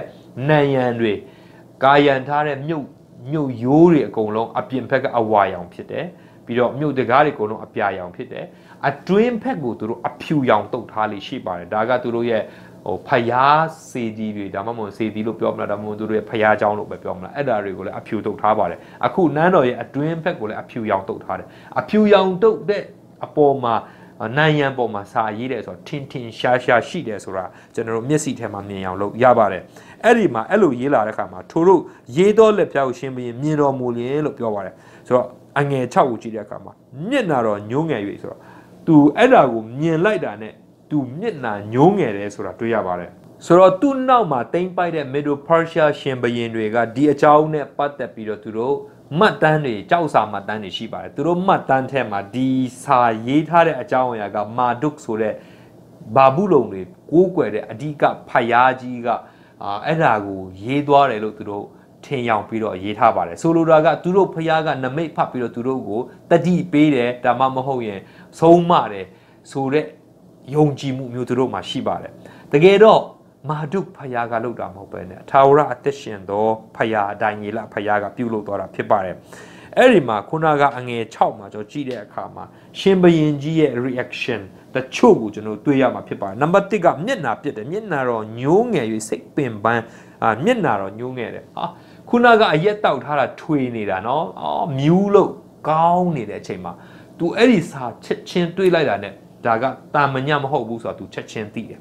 တီးတဲ့အတွက်ကြောင့်ခုနကျွန်တော်ပြောပြသားတိုင်းပဲသူတို့မြုပ်ကိုလည်းနော်စစ်တဲ့စစ်သားရန်သူစစ်သားတွေလာပြီးတော့ဝိုင်းဖို့တိုက်ဖို့အတွက်အချိန်မရွေးသူတို့ ਨੇ အနီးဆုံးနော်မိုင်90ပတ်ဝန်းကျင်မှာရှိနေတယ်ဆိုတော့သူတို့တိတိနေတဲ့အခါကျတော့ဒါကနမိတ်မကောင်းတော့ဘူးဆိုတော့ချက်ချင်းတိတဲ့ဆိုတော့မျက်နှာပြက်သွားတယ်ဆိုတာတွေ့ရတယ်ပြီးတော့စိတ်ပူပန်ခြင်းတို့ရောက်တယ်မျက်နှာပြက်ရောမကောင်းစိတ်ပါပူပန်တယ်ဆိုတဲ့အချက်ကို အာတွေ့ရတယ်တတိယတစ်ချက်နဲ့ तू ကလုံးဝအာခါးစစ်ပြုတ်မတက်ဖြစ်တယ်တဲ့နော်ဆိုတော့ခါးစစ်ပြုတ်မတက်မြန်မာလိုရေးထားတော်တော်လေးကြိုက်တယ်တကယ်တော့ရုပ်ချိုးပြက်သွားတာဖြစ်တယ်ဟာလုံးဝအာမရှိတော့အာပြက်သွားတာ तू ခုနမြူးသမျှနော်ထွေသမျှအကုန်လုံးကပြက်သွားတာဖြစ်တယ်ဆိုတော့သရုတ်ထတစ်ချက်ကနော်ဒူးချင်းထိခိုက်ရှိတော့ဆိုတော့ဒူးကြောက်ဒူးတုံတာနော်အာဒူးတစ်ခုနဲ့တစ်ခုတုံပြီးတော့အဲ့လိုဖြစ်နေတယ်ဆိုတာတွေ့ရပါတယ်ဆို တော့တမန်ကျမ်းစာကိုကျွန်တော်ကြည့်တဲ့အခါမှာလက်ချောင်းလေးကစာရေးတယ်ဆိုတာနော်အာထွမြောက်ကျမ်းထဲမှာ30 31ထဲမှာကျွန်တော်တွေ့ရတယ်လက်ချောင်းလေးကဘုရားသခင်လက်ချောင်းလေးအကြောက်ပေါ်မှာစာရေးတယ်ပြည့်ညတ်တော်10ပါးကိုပေးခဲ့တယ်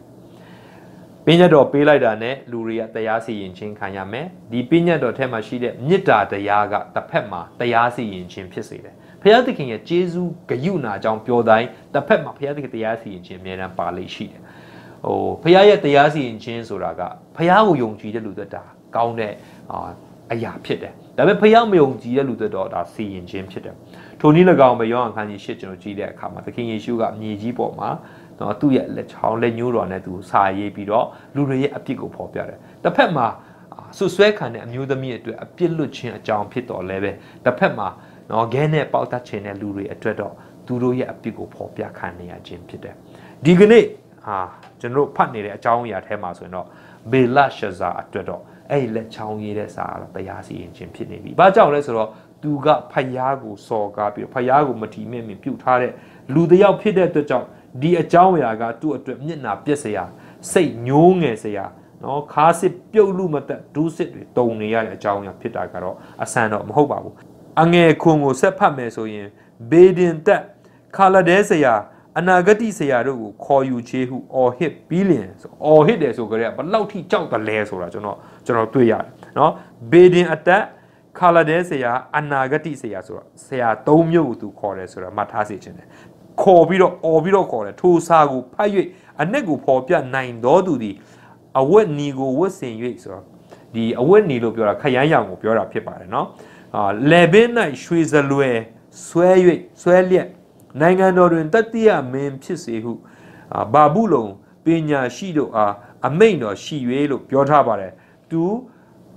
ဒီအရာနဲ့ပတ်သက်ပြီးအ내တိတ်ပဲဘလောက်ထိတိချင်တယ်လဲဆိုတော့သူအချက်၃ချက်သူပြောသွားတယ်နံပါတ်1ကခရမ်းရောင်အဝတ်ကိုဝတ်ဆင်စေမယ်လို့ပြောပါတယ်ခရမ်းရောင်အဝတ်ဆိုတာသူတို့အနေနဲ့ဒါတစ္ဆာရှိတဲ့အရာဒါမှမဟုတ်ရင်ဒါအာတော်ဝန်မိသားစုနဲ့ပတ်သက်တဲ့ အဝတ်အယောင်မျိုးဖြစ်ပါတယ်ဒုတိယတစ်ခုကတော့လေဘင်းမှာရွှေစလွယ်ဆိုတဲ့အခါမှာသူက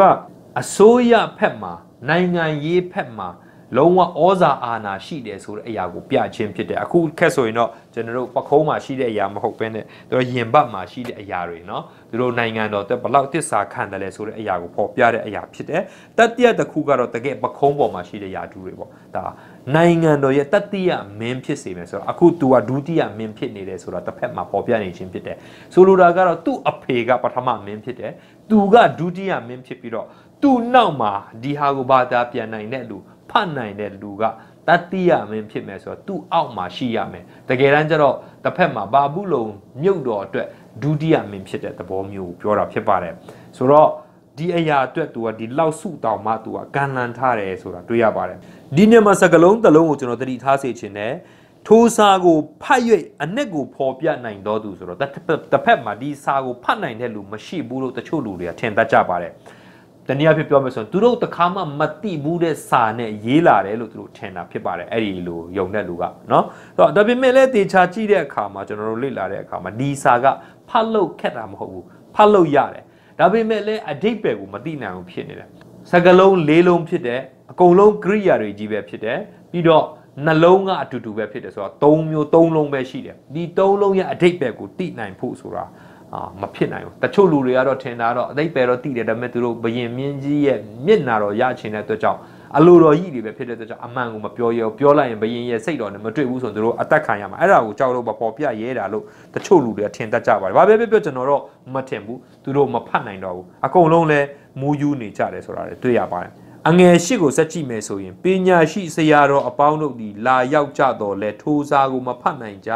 အနဲ့အတိတ်ပဲကို ရှင်ဘရင်အားမဟောပြောနိုင်သောကြောင့်လို့ပြောပါတယ်ဒီနေရာမှာသူတို့တွေရောက်လာတဲ့ပုံစံမျိုးနဲ့ပေါ်ပြထားတဲ့ကြောင့်ဒီလူတွေကမဖိတ်ကြတဲ့ဧည့်သည်တွေထဲမှာလည်းပါပါတယ်ဒါဘာပဲပြောပြောသူတို့အခက်ခဲတဲ့အချိန်မှာဒီပညာရှိတွေတော့အဖိတ်ခံရတယ်ပညာရှိဆရာတော်အပေါင်းတို့ကလာတယ်ဒါပေမဲ့သူတို့မဖတ်နိုင်ကြဘူးဆိုတာပြောပါတယ်တစ်ဖက်မှာဒီရှင်ဘရင်ကြီးကအာဖယားကိုဒီအချိန်မှာရှာရမယ့်အစား ဘာဘယ်လိုပညာရှိမျိုးကဖွင့်နိုင်မလဲဆိုတော့ပညာကိုရှာနေတဲ့အပြစ်တစ်ခုတွေ့တယ်ဆိုတဲ့အချက်ကိုကျွန်တော်ဥပု္ပ္ပစာပြေကမိမောင်းထိုးပြထားပါတယ်ဒီတော့ကျွန်တော်ဥပု္ပ္ပစာပြေကလည်းဒီခုနရေးထားတဲ့စာကအာရမစ်ဘာသာစကားနဲ့ရေးထားဖြစ်တယ်ဖတ်လို့တော့တတ်ပါရဲ့အတိတ်ပဲနားမလဲတခါလေကျွန်တော်ကျမ်းစာဖတ်တယ်စကလုံးမသိတာလည်းမဟုတ်စကလုံးလည်းသိတယ်စကလုံးပေါင်းလည်းသိတယ်ဖတ်တယ်ဒါပေမဲ့ဘာအတိတ်ပဲလဲကိုမသိနိုင်တဲ့အကျမ်းစစ်အများကြီးရှိပါတယ်သူများစကားပြောတယ်နားစကလုံးကနားလဲဒါပေမဲ့ဘာဆိုလိုတာလဲ မသိတဲ့အချိန်ရှိပါတယ်အဲဒါကြောင့်ဒီအာသူ့ရဲ့စာက Aramic စာနဲ့ရေးထားတယ်အာပြီးတော့အထိပ္ပယ်မသိဘူးဆိုတော့ make sense ဖြစ်ပါတယ် Aramic စာနဲ့ရေးတယ်ဆိုတော့ကဒိုင်လာခန်းကြီး1အငယ် 4 B ဒုတိယပိုင်းကနေစပြီးခန်းကြီးခွန်ထိက Aramic လို့ရေးထားတာဖြစ်တယ်ကျန်တဲ့ဟာတွေက Hebrew လို့ရေးထားတာဖြစ်တယ်ဒီတော့ အာသူ့ရဲ့အိမ်မက်ကိုပေါ်ပြတဲ့အခါမှာလည်းအိမ်မက်နဲ့ပတ်သက်ပြီးတော့ဥမာတစ်ပင်ကြီးနဲ့ပတ်သက်တဲ့အိမ်မက်မြင်တဲ့အခါမှာအိမ်မက်ကိုပြောတယ်ဒါပေမဲ့အတိတ်ပဲနားမလဲဘူးဆိုတော့စကလုံးကိုနားမလဲတာမဟုတ်ပဲစကလုံးကိုနားလဲတယ်ဒါပေမဲ့မဖတ်တတ်တာမဟုတ်ဖတ်တတ်တယ်ဒါပေမဲ့အတိတ်ပဲမသိတာဖြစ်တယ်ဒီတော့ဒန်ယေလကိုဒါမှမဟုတ်ဒီပညာရှိတွေကိုပေးမယ်ဆိုတဲ့စုလက်ကဘလောက်မဲ့မောစရာကောင်းပါတယ်လဲ သူတို့အတွက်ကြည်လိုက်မယ်ဆိုရင်ဝက်အနီအနီတော့အဝက်ကိုဝက်စင်ရမယ်ရွှေစလွယ်ရမယ်နိုင်ငံရဲ့တတိယယာတုဖြစ်မယ်ဆိုတော့တကယ်မဲ့မောစရာဖြစ်ပါတယ်ဒန်ယေလအနေနဲ့ရောဒါမဲ့မောရဲ့လားသူတို့ခက်သူတို့ခါတော့အဲ့ဒီနိုင်ငံဆုံးခန်းမကြခင်ဆုံးတော့မဲ့နိုင်ငံအတွက်ဒီစုလက်ဆောင်တွေလက်လာဘတွေသူတို့အတွက်မဲ့မောစရာတကယ်ကောင်းရဲ့လားမကောင်းဘူးလို့တင်ပြောရင်ပြောလိုက်မယ်ဟုတ်တယ်လေခဏနေကြရင်အကုန်လုံးကအာအဲ့ဒီမှာရှိတဲ့ရှင်ဘရင်ကြီးကပြုတ်တော့မယ်နန်းပြုတ်တော့မယ် ဘရင်ယာဒူးကနေပြုတ်တော့မှာပဲသူအသက်ခံရတော့မှာပဲဒီတော့ဒီရှင်ဘရင်ပေးထားတဲ့ဒီဆုလက်တွေကဘာမှမဟုတ်တော့အချင်းကြီးပဲဖြစ်တယ်ကျွန်တော်တို့ရဲ့အသက်တာမှာဘာဆုတွေနဲ့ကျွန်တော်တို့ကိုအာသွေးဆောင်ခြင်းကျွန်တော်ခံရပါတယ်လဲကျွန်တော်တက်တာမှာနောက်ဆုံးသောကာလရောက်ပြီနောက်ဆုံးသောကာလရောက်ပြီဒီမြေကြီးလဲဆုံးတော့မယ်ဒီမြေကြီးလဲဆုံးတော့မယ်ဆိုပြီးကျွန်တော်တို့ကပြောနေတိနေပေမဲ့လဲဒီမြေကြီးပေးတဲ့ဆွတ်လတ်လာပါတွေကိုကျွန်တော်တို့အာ မန်းနေတော့ပဲလိုချင်နေတော့ပဲဖြစ်နေကြတယ်မဟုတ်လားဒီတော့ကျွန်တော်တို့ဒီဘယင်ပေးတဲ့စုတဲ့ကျွန်တော်တို့ရဲ့အသက်တာမှာဒီလက်ဆောင်တွေအတွက်ဒါမှမဟုတ်ဒီတက်တာဒီမြေကြီးပေးနိုင်တဲ့အရာတွေအတွက်ကျွန်တော်တို့မက်မောပြီးတော့များမကြခင်ကုံဆုံးမဲ့ဒီကဘာမြေကြီးကိုကျွန်တော်တို့တွေ့တာနေမိပါသလားကျွန်တော်ပြန်ပြီးတော့စဉ်းစားဖို့တခုဖြစ်ပါတယ်အင်္ဂါနေ့မှာရှင်ဘရင်မကြီးအာဝင်လာခြင်းဆိုတဲ့ခေါင်းစဉ်ဖြစ်ပါတယ်အငယ်6ကနေ7နှစ်ကိုအခြေပြုသွားတာဖြစ်ပါတယ် ဘေလရှာဇာမင်းကြီးသည်အလွန်စိတ်ပူပန်ခြင်းမျက်နာတော်ညှိုးငယ်ခြင်းရှိ၍မူးတော်မတ်တော်တို့သည်မိုင်လက်နေကြ၏ဒီနေရာမှာဘယင်ကြီးကအရန်ဆိုးရင်လို့ねသူတို့လည်းနဲ့မပြန်နိုင်တဲ့အခါမှာနော်တခြားလူတွေအကုန်လုံးလည်းမိုင်ပြီးတော့အဲ့ဒီမှာလုံးဝအဲ့ဒီခုနကပွဲတွေနဲ့စကားပြောတာနဲ့စူညံနေတဲ့ Maxwell ကသူဘာပြောတယ်လဲဆိုတော့ဘာဘူးလုံးကိုသူသွားလဲဟန်ရှိပါတယ်သွားပြီးတော့သူတည်တဲ့နာသွားလို့ဖို့လားတက်တက်အာလေလာရေးခရီးတာ တော့သူသွားခဲ့တယ်သွားခဲ့တဲ့အချိန်မှာချက်၃ချက်သူအခုချိန်မှာကြံနေသေးတယ်လို့ပြောပါတယ်တခုကတော့ဘာဘူးလိုမျိုးကြီးရဲ့တကဝကြီးမုတ်မုတ်တကားကြီးပေါ့နော်အဲ့ဒါကြံရှိနေသေးတယ်လို့ပြောပါတယ်ဆိုတော့အဲ့ဒါတခုဒုတိယတခုကတော့ဘာဘူးလိုမင်းကြီးစောက်ထားတဲ့ဒီအာ hanging garden ပေါ့ဒါချန်ဟောဥယျာဉ်အမြင့်ကြီးပေါ့နော်အဲ့ဒီတိုက်ပေါ်မှာစောက်ထားဥယျာဉ်ကြီးအဲ့ဒါကြံသေးတယ်လို့ပြောပါတယ်ဥယျာဉ်ရှိနေသေးတယ်ဆိုတာမဟုတ်ပဲအဲ့ဒီအနေအကြီးကြံခဲ့သေးတယ်ပေါ့တတိယတစ်ခုအနေနဲ့ ဒီသူတို့ရဲ့စားပွဲလုပ်တဲ့အာအခန်းကြီးကြံနေသေးတယ်လို့ပြောပါတယ်ဒီတော့အဲ့ဒီအရာကြီးရဲ့အရှိအလျားတွေကြည့်တဲ့အခါမှာတော်တော်လေးခမ်းနားတယ်လို့ပြောပါတယ်အဲ့ဒီခမ်းနားတဲ့နေရာမှာလူအများကြီးရှိတဲ့မှာအကုန်လုံးကနော်အကြလူမတအကုန်လုံးတိတ်ဆိတ်နေ။ဘာကြောင့်လဲဘယင်ကြီးကမျက်နှာပြက်နေပြီဆိုတာတွေ့ရပါတယ်။အငယ်30ကိုဆက်ကြည့်မယ်ဆိုရင်ထိုအခါမေရောမိဖျားသည် ရှင်ဘယင်ဤစကား မူမတို့ဤစကားကိုကြားသိလင်ပွဲတော်သို့ဝင်၍အရှင်မင်းကြီးအသက်တော်အစဉ်မြဲရှင်ပါစေစိတ်တော်ပူပန်ခြင်းမရှိပါနဲ့လို့ပြောပါတယ်ဒီခါမှာမေတော်မိဖျားလို့ရေးထားပါတယ်ကျွန်တော်တို့မြန်မာလိုကြတော့တခါတည်းရှင်းပြီးသားဖြစ်တယ်မေတော်မိဖျားဆိုတော့အတိတ်ပဲတိတ်ပြီးတော့ထူးထူးထူးထူးစဉ်းစားစရာမလိုအင်္ဂလိပ်ကျမ်းတွေကြည့်တဲ့အခါမှာမိဖျားလို့ပဲရေးထားပါတယ်မိဖျားလို့ပြောတဲ့အခါမှာသူ့ရဲ့ ဇနီးရှင်ဘရင်ကြီးရဲ့ဇနီးဖြစ်ကောင်းဖြစ်နိုင်တယ်ဆိုတော့ယူဆချက်တွေအများကြီးရှိပါတယ်ဒါပေမဲ့လည်းတစ်ဖက်မှာ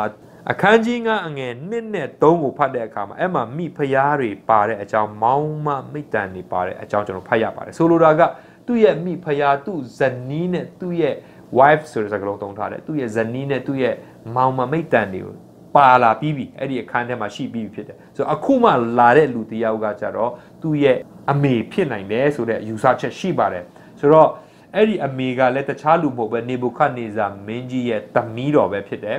တစ်ဖက်မှာသူတို့ရဲ့အာအဖေသူအမေကွဲမောင်နှမနှစ်ယောက်စလုံးယူချက်ဟန်ရှိပါတယ်သူ့နာမည်ကနီတိုခရစ်လို့ခေါ်တယ်လို့ပြောရေးထားပါတယ်ဆိုတော့နေဘုခတ်နေဇာရဲ့သမီးတော်ဖြစ်ပြီးတော့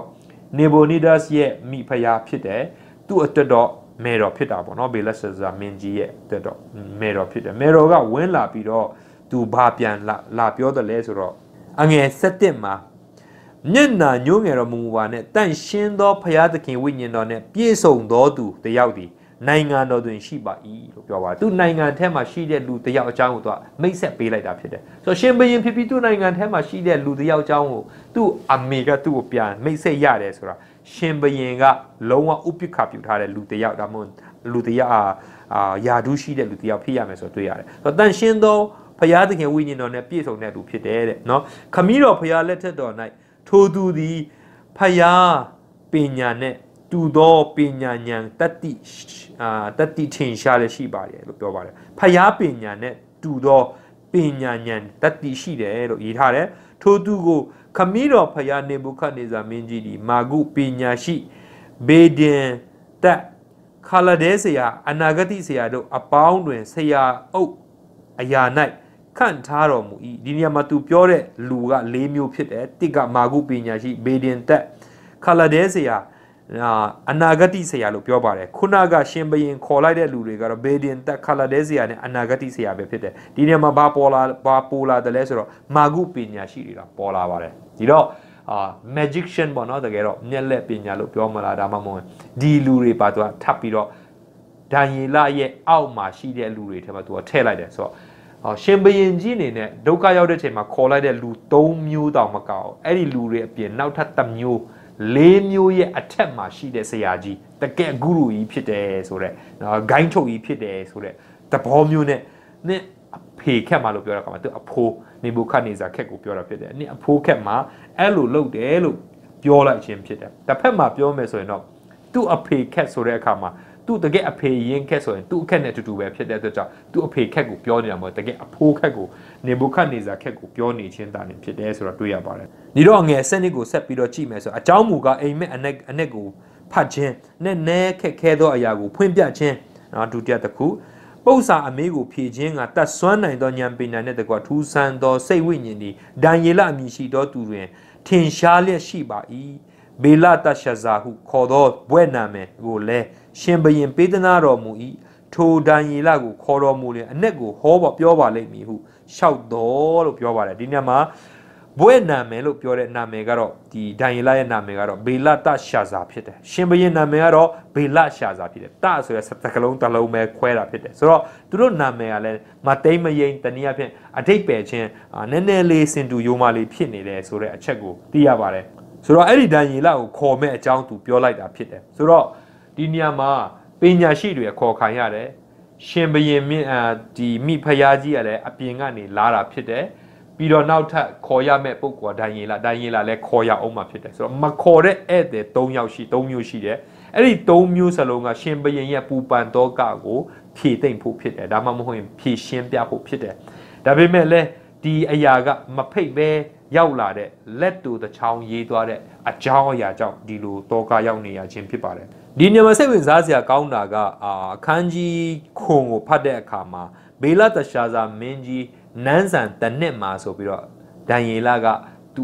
အိမ်မက်ယူပါယူအကြောင်းသူပြောပြပါတယ်ပြီးတော့အခန်းကြီး၈ကိုရောက်လာတဲ့အခါမှာဘေလရှာဇာမင်းကြီးနန်းဆန်၃နှစ်ပြည့်တဲ့အခါမှာလို့အခန်းအငယ်၁မှာရေးထားပါတယ်အဲတော့သူအမှုဆောင်နေတော့ပဲဖြစ်တယ်ဆိုတာတွေ့ရတယ်ဆိုတော့ဒီရှင်မင်းကြီးကသူ့နန်းဆန်၃နှစ်အထိတောင်မှသူက10နှစ်နန်းဆန်တာကို ၃နှစ်ထိတောင်မှဒိုင်ယီလာကသူနဲ့အတူတူရှိနေသေးတယ်သူအမှုတော်ဆောင်နေသေးတယ်ဆိုတာအမှုဆောင်နေသေးတယ်ဆိုတာသိတဲ့သိရဲ့သားနဲ့ဘာဖြစ်လို့သူလစ်လျူရှုနေတယ်လဲဆိုတဲ့အချက်ကဒါစိတ်ဝင်စားစရာကောင်းတဲ့အချက်တစ်ချက်ဖြစ်ပါတယ်ဒိုင်ယီလာကအာကျွန်တော်အသက်ကိုတွက်ကြည့်တဲ့အခါမှာဒီဖြစ်ပျက်ဖြစ်ပျက်နေတဲ့အချိန်မှာဒိုင်ယီလာအသက်80ကောင်းကောင်းကျော်နေပြီဆိုတာတွေ့ရတယ်အသက်80ကျော်နေတဲ့အတွက်ကြောင့်သူ့ကိုအာအရာတာဝန်ကနေရက်နာပေးလိုက်တဲ့သဘောမျိုးရှိပါတယ်ဆိုတော့သူက တအားကြီး order လည်းဖြစ်ချင်မှဖြစ်မယ်။ဘာဖြစ်လို့လဲဆိုတော့နောက်တက်လာတဲ့ရှင်ဘီယန်ဒါရီမင်းကြီးကသူ့ကိုနိုင်ငံတော်ရဲ့အာဒုတိယနေရာမှာထားခဲ့သေးတာကိုဒီတော့ဒိုင်ဒိုင်လာတအားကြီးအိုနေမင်းနေအာအိုနေဟန်တော့မရှိဘူးဒါပေမဲ့လည်းသူ့ကိုအသက်80ရှိတဲ့အတွက်ကြောင့်လုံးဝတာဝန်ကနေရက်ဆဲလိုက်တဲ့သဘောမျိုးရှိပါတယ်ဆိုတော့သူ့ တာဝန်ကနေရပ်ပေမဲ့လည်း तू ကနန်းတော်ပတ်ဝန်းကျင်မှာရှိနေတဲ့အတွက်ကြောင့်သူ့ကိုခေါ်လို့လွယ်တဲ့ဟန်လည်းရှိပါတယ်ဒီတော့ဒီဒီလူကိုမေးဖို့အတွက်ဒိုင်ယေလကိုမေးဖို့အတွက်ရှင်ဘရင်မကြီးကမိဖုရားကြီးကနော်မေတော်မိဖုရားကြီးကလုံးဝသူ့ရဲ့ resume ပေါ့သူဘယ်လိုအာမခံချက်တွေပေးပြီးသူ့ရဲ့တတ်ဆွမ်းတဲ့အရာတွေအကုန်လုံးကိုသူပြောပြပါတယ်ဒီနေ့မှာကျွန်တော်စဉ်းစားစေချင်တဲ့အချက်တစ်ချက်ရှိပါတယ်အဲ့ဒါဘာလဲဆိုတော့ဖယားလူဆိုတာနော် ဖယားလူမဟုတ်တဲ့လူကလည်းဒီလူကဖယားနဲ့ဖယားရဲ့ဝိညာဉ်တော်နဲ့ပြည့်စုံတယ်ဆိုတာသူကမြင်နိုင်တဲ့အခွင့်ရှိတယ်တဲ့အသက်တာမှာလူတွေကအသင်ကိုဘယ်လို recommend ပေးမလဲတင်းသက်တာဒီလူကဘယ်လိုလူလဲလို့သူများတယောက်ယောက်ကမေးလိုက်မယ်ဆိုရင်တင့်ကိုလူတယောက်ယောက်ကဖယားဖယားလူမဟုတ်တဲ့ဟောဖယားလူဖြစ်စေပေါ့နော်အတင်းသူအတင်းသားတွေဖြစ်စေယုံကြည်သူဖြစ်စေမယုံကြည်သူဖြစ်စေတင့်ကို recommend ပေးမယ်ဆိုရင်ဘယ်လို recommend မျိုးတင့်ကိုပေးမလဲ အဲ့ဒါစဉ်းစားစရာဖြစ်ပါတယ်ဒန်ယေလရဲ့အသက်တာကိုတော့မိဖယားကြီးက recommend ပေးလိုက်တာတော့ဖယားလူအနေနဲ့လုံးဝသူ့မှာ confidence ရှိတယ်ပြီးတော့ဒီလူကိုမေးပါမေးရင်တိမယ်ဆိုတဲ့စကားလုံးသုံးသုံးသွားသေးတယ်ဆိုလိုတာကသူ့မှာလုံးဝဒန်ယေလနဲ့ပတ်သက်ပြီးဆိုရင်သူတိချင်တိကောင်းတိနိုင်လိမ့်မယ်ဆိုတဲ့စကားမျိုးသုံးတာမဟုတ်ဘူးဒီလိုတိကိုတိမယ်ဆိုတဲ့အချက်ဖြစ်တယ်ဒီတော့ကျွန်တော်တို့ယုံကြည်သူတွေကိုရော မယုံကြည်သူတွေဖြစ်စေတခြားယုံကြည်သူတွေဖြစ်စေကျွန်တော်တို့ကိုဒီလူကိုပတ်စံချေရင်တော့ပြန်ကိုပေးလိုက်မယ်ဒီလူကိုဒီလူပြောတဲ့စကားမှန်ကိုမှန်လိုက်မယ်ဘာဖြစ်လို့ဒီလူကယုံကြည်သူဖြစ်တယ်ကျွန်မလုံးဝယုံကြည်တယ်အဲ့လိုကျွန်တော်တို့အယုံကြည်ခံရရဲ့လားဒါမှမဟုတ်ရင်ဟာဒီလူတယောက်တည်းပဲရှိရင်တော့စိတ်ချရတာမဟုတ်ဘူးတို့တေချာကြည်တာအောင်ဆိုတဲ့ဟာသူများရဲ့ recommend မျိုးကျွန်တော်တို့အသက်တာမှာရှိနေတယ်လားအာကျွန်တော်တို့ပြန်ပြီးတော့စဉ်းစားဆင်ခြင်ဖို့ဖြစ်ပါတယ်။ဒန်ယေလလိုပုဂ္ဂိုလ်ကတော့ သူများတွေသူ့ကိုလုံးဝအတကုံလေးစားတဲ့အကြောင်းသူ့ကိုလုံးဝ recommend ပေးရတဲ့အကြောင်းကျွန်တော်တွေ့ရတယ်။အရေးကြီးဆုံးကတော့ကျွန်တော်တို့အသက်တာသူများတွေကျွန်တော်ဘယ်လိုမြင်တယ်လဲကျွန်တော်တို့အထက်မှာသူများယေရှုကိုတွေ့ရလားဆိုတာကျွန်တော်တို့ပြန်ပြီးတော့ဆင်ဆင်ဆင်ခြင်ဖို့လိုအပ်ပါတယ်။ဒီတော့ဖျားသားသမီးတွေတင်းတဲ့ကျွန်တော်ကိုလူတွေကကျွန်တော်စိတ်ချရလား။တစ်ဖက်မှာအော်ဖျားသားသမီးဖြစ်တဲ့အတွက်ကြောင့် သူ့ကိုလစ်လျူရှုတဲ့လူရှိပါတယ်အဲ့ဒါတော့ရှင်ဘရင်ကြီးကိုယ်တိုင်ဖြစ်ပါတယ်ဒံယေလဟာဒီလောက်ဖျားအသုံးပြုတာတီးရသားနဲ့လစ်လျူရှုတဲ့လူရှိတယ်လို့ပဲတင်းနဲ့ကျွန်တော်အသက်တာမှာဘလောက်ပဲဖရာတရားကျွန်တော်တို့အာယူတီကိုင်းဆိုင်ပြီးဖရာရဲ့နှုတ်ကပတ်တရားနဲ့အသက်ရှင်တော်လဲပဲကျွန်တော်တို့ကိုလုံးဝ ignore လုပ်တဲ့လူတချို့ရှိနေပါတယ်သူတို့အတွက်နဲ့ကျွန်တော်တို့ရဲ့အာဖရာရဲ့စကားတော်နားထောင်ကျွန်တော်တို့ short ဖို့မလိုသလိုစိတ်ပြက်ဖို့လည်းမလိုပါဘူးဒံယေလက နော်ဘယ်ရှဇာမင်းကြီးကသူ့ကိုမတိလို့တခါမှစိတ်မပြတ်ဘူးပါဘူးထိုနည်း၎င်းကျွန်တော်တို့ရဲ့အသက်တာမှာကျွန်တော်တို့ကို ignore လုပ်တယ်ကျွန်တော်ဂယုမဆိုင်တဲ့လူရှိရင်လည်းကိစ္စမရှိဘူးကျွန်တော်တို့ဖြောင့်မတ်တဲ့အသက်တာနဲ့ဆက်ပြီးတော့အသက်ရှင်ဖို့ဖြစ်တယ်။ဒါယေလကတော့တနိုင်ငံလုံးမှာရှိတဲ့တကယ် one champion ကိုရထားတဲ့လူဖြစ်တယ်။သူ့ရဲ့သူ့နဲ့ရှင်ပြိုင်နိုင်မဲ့လူတယောက်မှမရှိခဲ့ဘူးဆိုတော့တွေ့ရတယ်။ တစ်ချိန်တည်းမှာပဲဒန်ယေလကိုပေးတဲ့အကြောင်းအရာတွေသူ့ကိုအမွန်းတင်ပြီးချီးမွမ်းထားတဲ့အကြောင်းအရာတွေအကုန်လုံးတေချာဆန်းစစ်တဲ့အခါမှာဒန်ယေလတက်တာမှာ तू ပြုတ်လုခဲ့တဲ့အတိုင်းအရာတစ်ခုကို तू အောင်မြင်စွာပြုတ်လုခဲ့တဲ့အတိုင်းပြုတ်လုခဲ့တဲ့အတိုင်း तू ဘာပြောလေးရှိတယ်လဲဆိုတော့အကုန်လုံးကဖျားပေးပါတယ်ဆိုပြီးဖျားကိုအမြဲတမ်းချီးမြှောက်လေးရှိတဲ့လူတစ်ယောက်ဖြစ်ပါတယ်။တင်းတက်တာမှာတင်းရှာဖွေနိုင်သောပညာဥစ္စာကျွမ်းကျင်မှုအားလုံးကိုဖျားအောင်တင်ပြန်အပ်မယ်ဆိုရင်ဖျားသခင်အဲ့ဒါတင့်အပိုင်ပဲဖြစ်စေမှာဖြစ်တယ်။ဖျားသခင်တင့်ရဲ့ဥစ္စာကိုပဲတော့မလူမှာမဟုတ်ဘူး။ ဒါပေမဲ့သင်ဟာသင်ရဲ့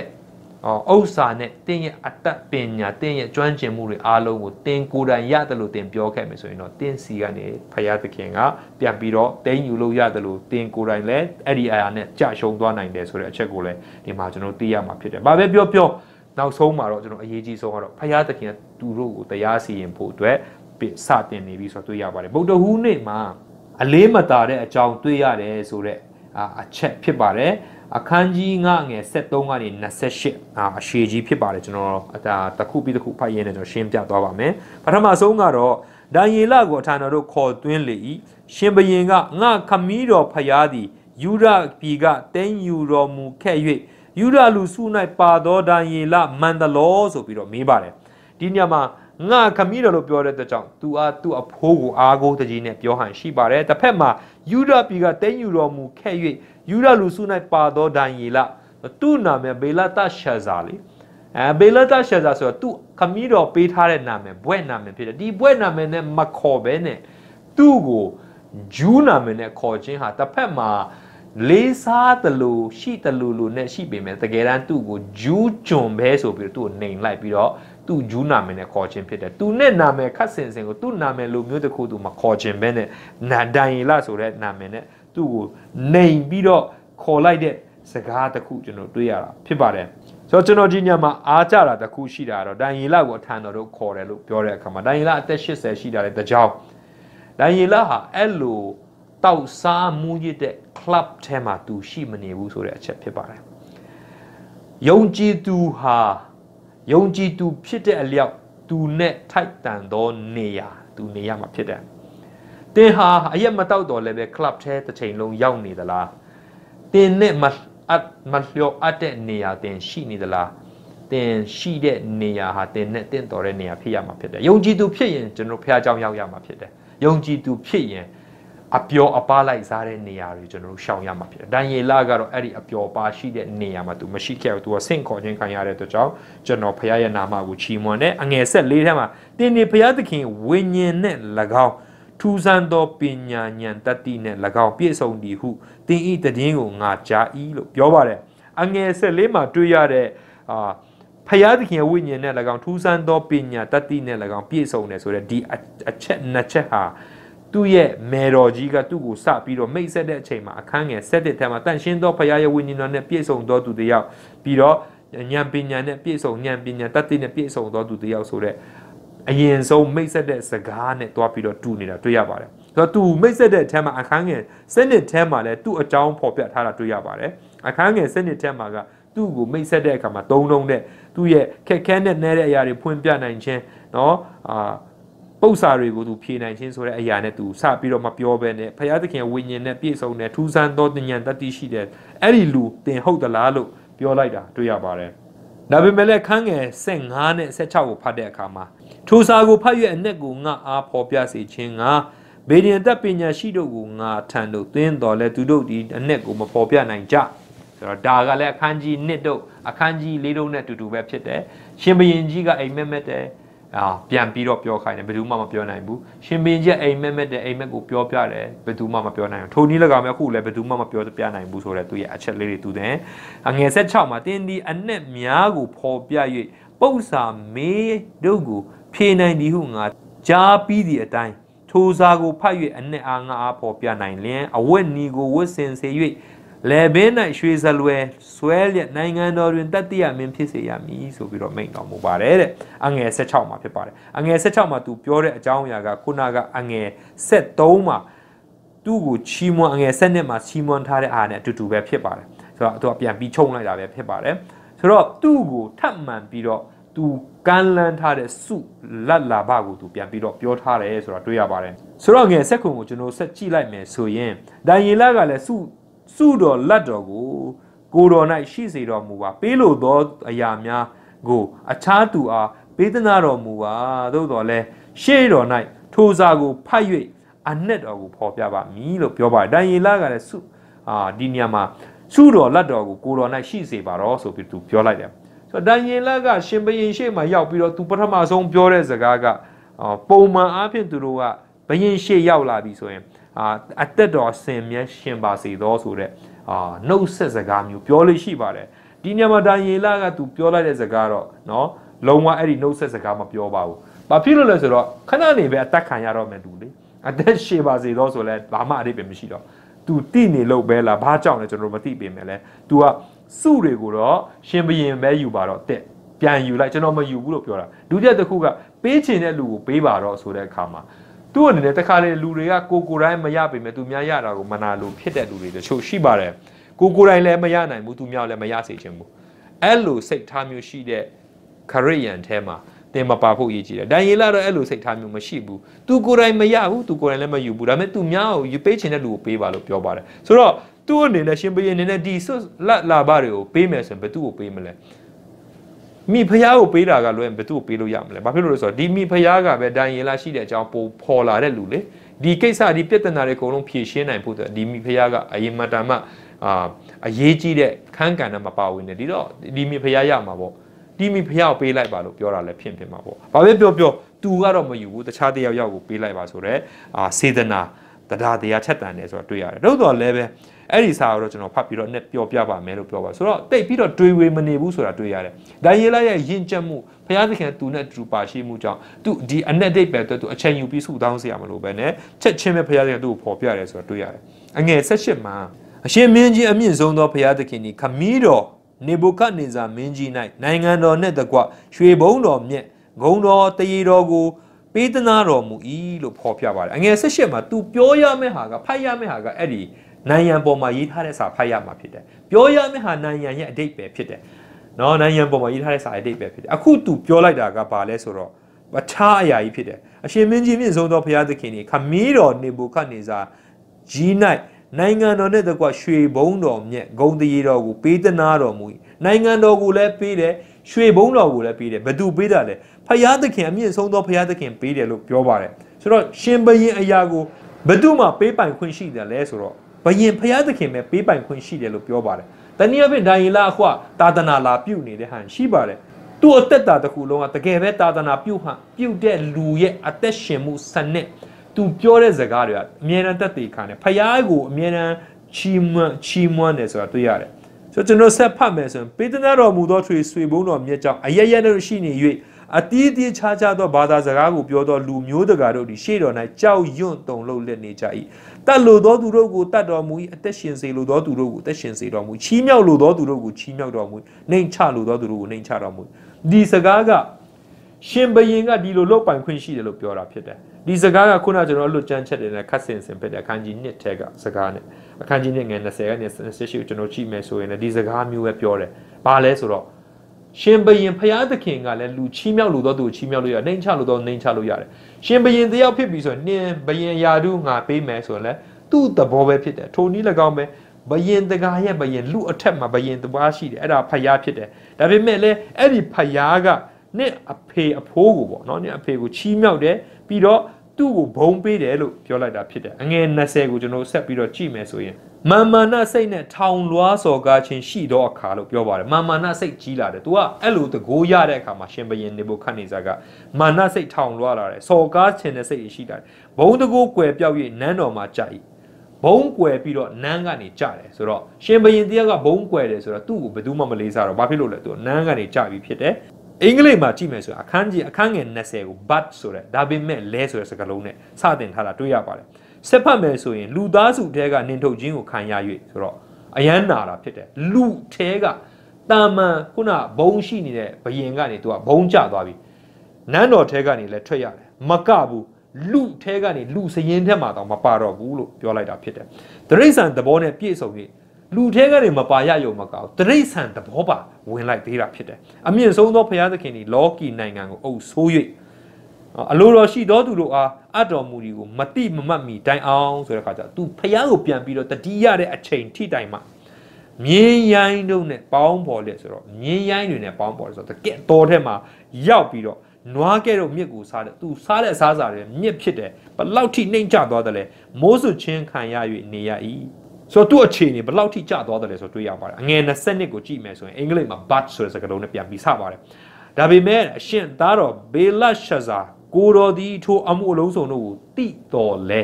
တော်လဲဆိုတာခုန but ပေါ့နော်ဒီအမှုအရာတွေကိုရှင်မင်းကြီးကတိတော်လဲဆိုတော့ဒီအရာတွေက तू မတိတဲ့အချိန်မှာဖြစ်ပျက်တဲ့အကြောင်းကြောင့်မို့ तू တိနေတယ်ဆိုတဲ့အချက်ကို confirm လိုက်တာဖြစ်တယ်စိတ်နှလုံးကိုမနှိမ်ချပဲဆိုတော့တိတယ်ဒါပေမဲ့လည်းလိုက်နာလားဆိုမလိုက်နာဘူး ပြီးတော့တင်တဲ့ကျွန်တော်လည်းနှုတ်ကပတ်တော်တိတယ်ဒါပေမဲ့မလိုက်နာဘူးဆိုဘာမှအကျိုးမရှိဘူးသူ့အဖေရဲ့ခက်မှာသူ့အဖိုးရဲ့ခက်မှာဖြစ်ပျက်တဲ့ကြောင်လို့မသိဘူးလားဆိုတော့သိတယ်ဒါပေမဲ့ तू မလိုက်နာတဲ့အတွက်ကြောင့်စိတ်တော်ကိုမနှိမ်စိတ်နှလုံးကိုမနှိမ်ချပဲကောင်းကင်ဘုံရဲ့အရှင်ကိုစန့်ကျင်ဘက်ပြု၍ဆိုတော့စိတ်မနှိမ်ချတဲ့အပြင်ဘာလို့တလဲဆိုတော့ဖယားကိုတောင်စန့်ကျင်လိုက်သေးတယ်ဘာအားဖြင့်စန့်ကျင်တယ်လဲဗိမာန်တော်ဖလားတို့ကိုရှေ့တော်တို့ယူခဲ့စေ၍ဆိုတော့ဗိမာန်တော်ဖလားယူလိုက်ခြင်းဟာဖယားကိုဆန့်ကျင်ခြင်းဖြစ်တယ် ကိုတော်တိုင်မဆတော့မူးတော်မတ်တော်မိဖယားမောင်းမမိတ်တန်တို့ဒီထိုဖလားတို့နဲ့မာစပြည့်ရီကိုတောက်ကြပြီးတကားမျက်စိမမြင်နားမကြဘယ်သောအရာများမတိသောငွေဖယားရွှေဖယားကြေးဝါဖယားတန်ဖယားတစ်သားဖယားကြောက်ဖယားတို့ကိုချီးမွမ်း၍ကိုတော်၏အသက်သခင်သည်ဟုသောကိုရောဤအမှုတို့အလုံးစုံတို့ကိုစီရင်ပိုင်တော်မူသော ဖရာသခင်ကိုမချီးမမွမ်းပဲနေပါတကားလို့ပြောပါတယ်ဒီညောင်ကျော်တတိထားမိလားမသိဘူးအဲ့ဒါဖရာကိုဆန့်ကျင်ပြီးတော့ကိုတယောက်တည်းမားလာတော့မို့ကိုနောက်လိုက်တဲ့အကုန်လုံးမားအောင်လှုပ်လိုက်သေးတယ်တဲ့ပြီးတော့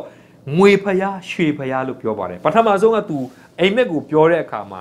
နော်ရွှေဖရာငွေဖရာလို့ပြောတယ်အခုတော့ငွေဖျားရွှေဖျားလို့ပြန်ပြောတယ်။ဘာကြောင့်ငွေကိုပထမဆုံးပြန်တင်လိုက်တယ်လဲဆိုတော့မကြာခင်ပဲ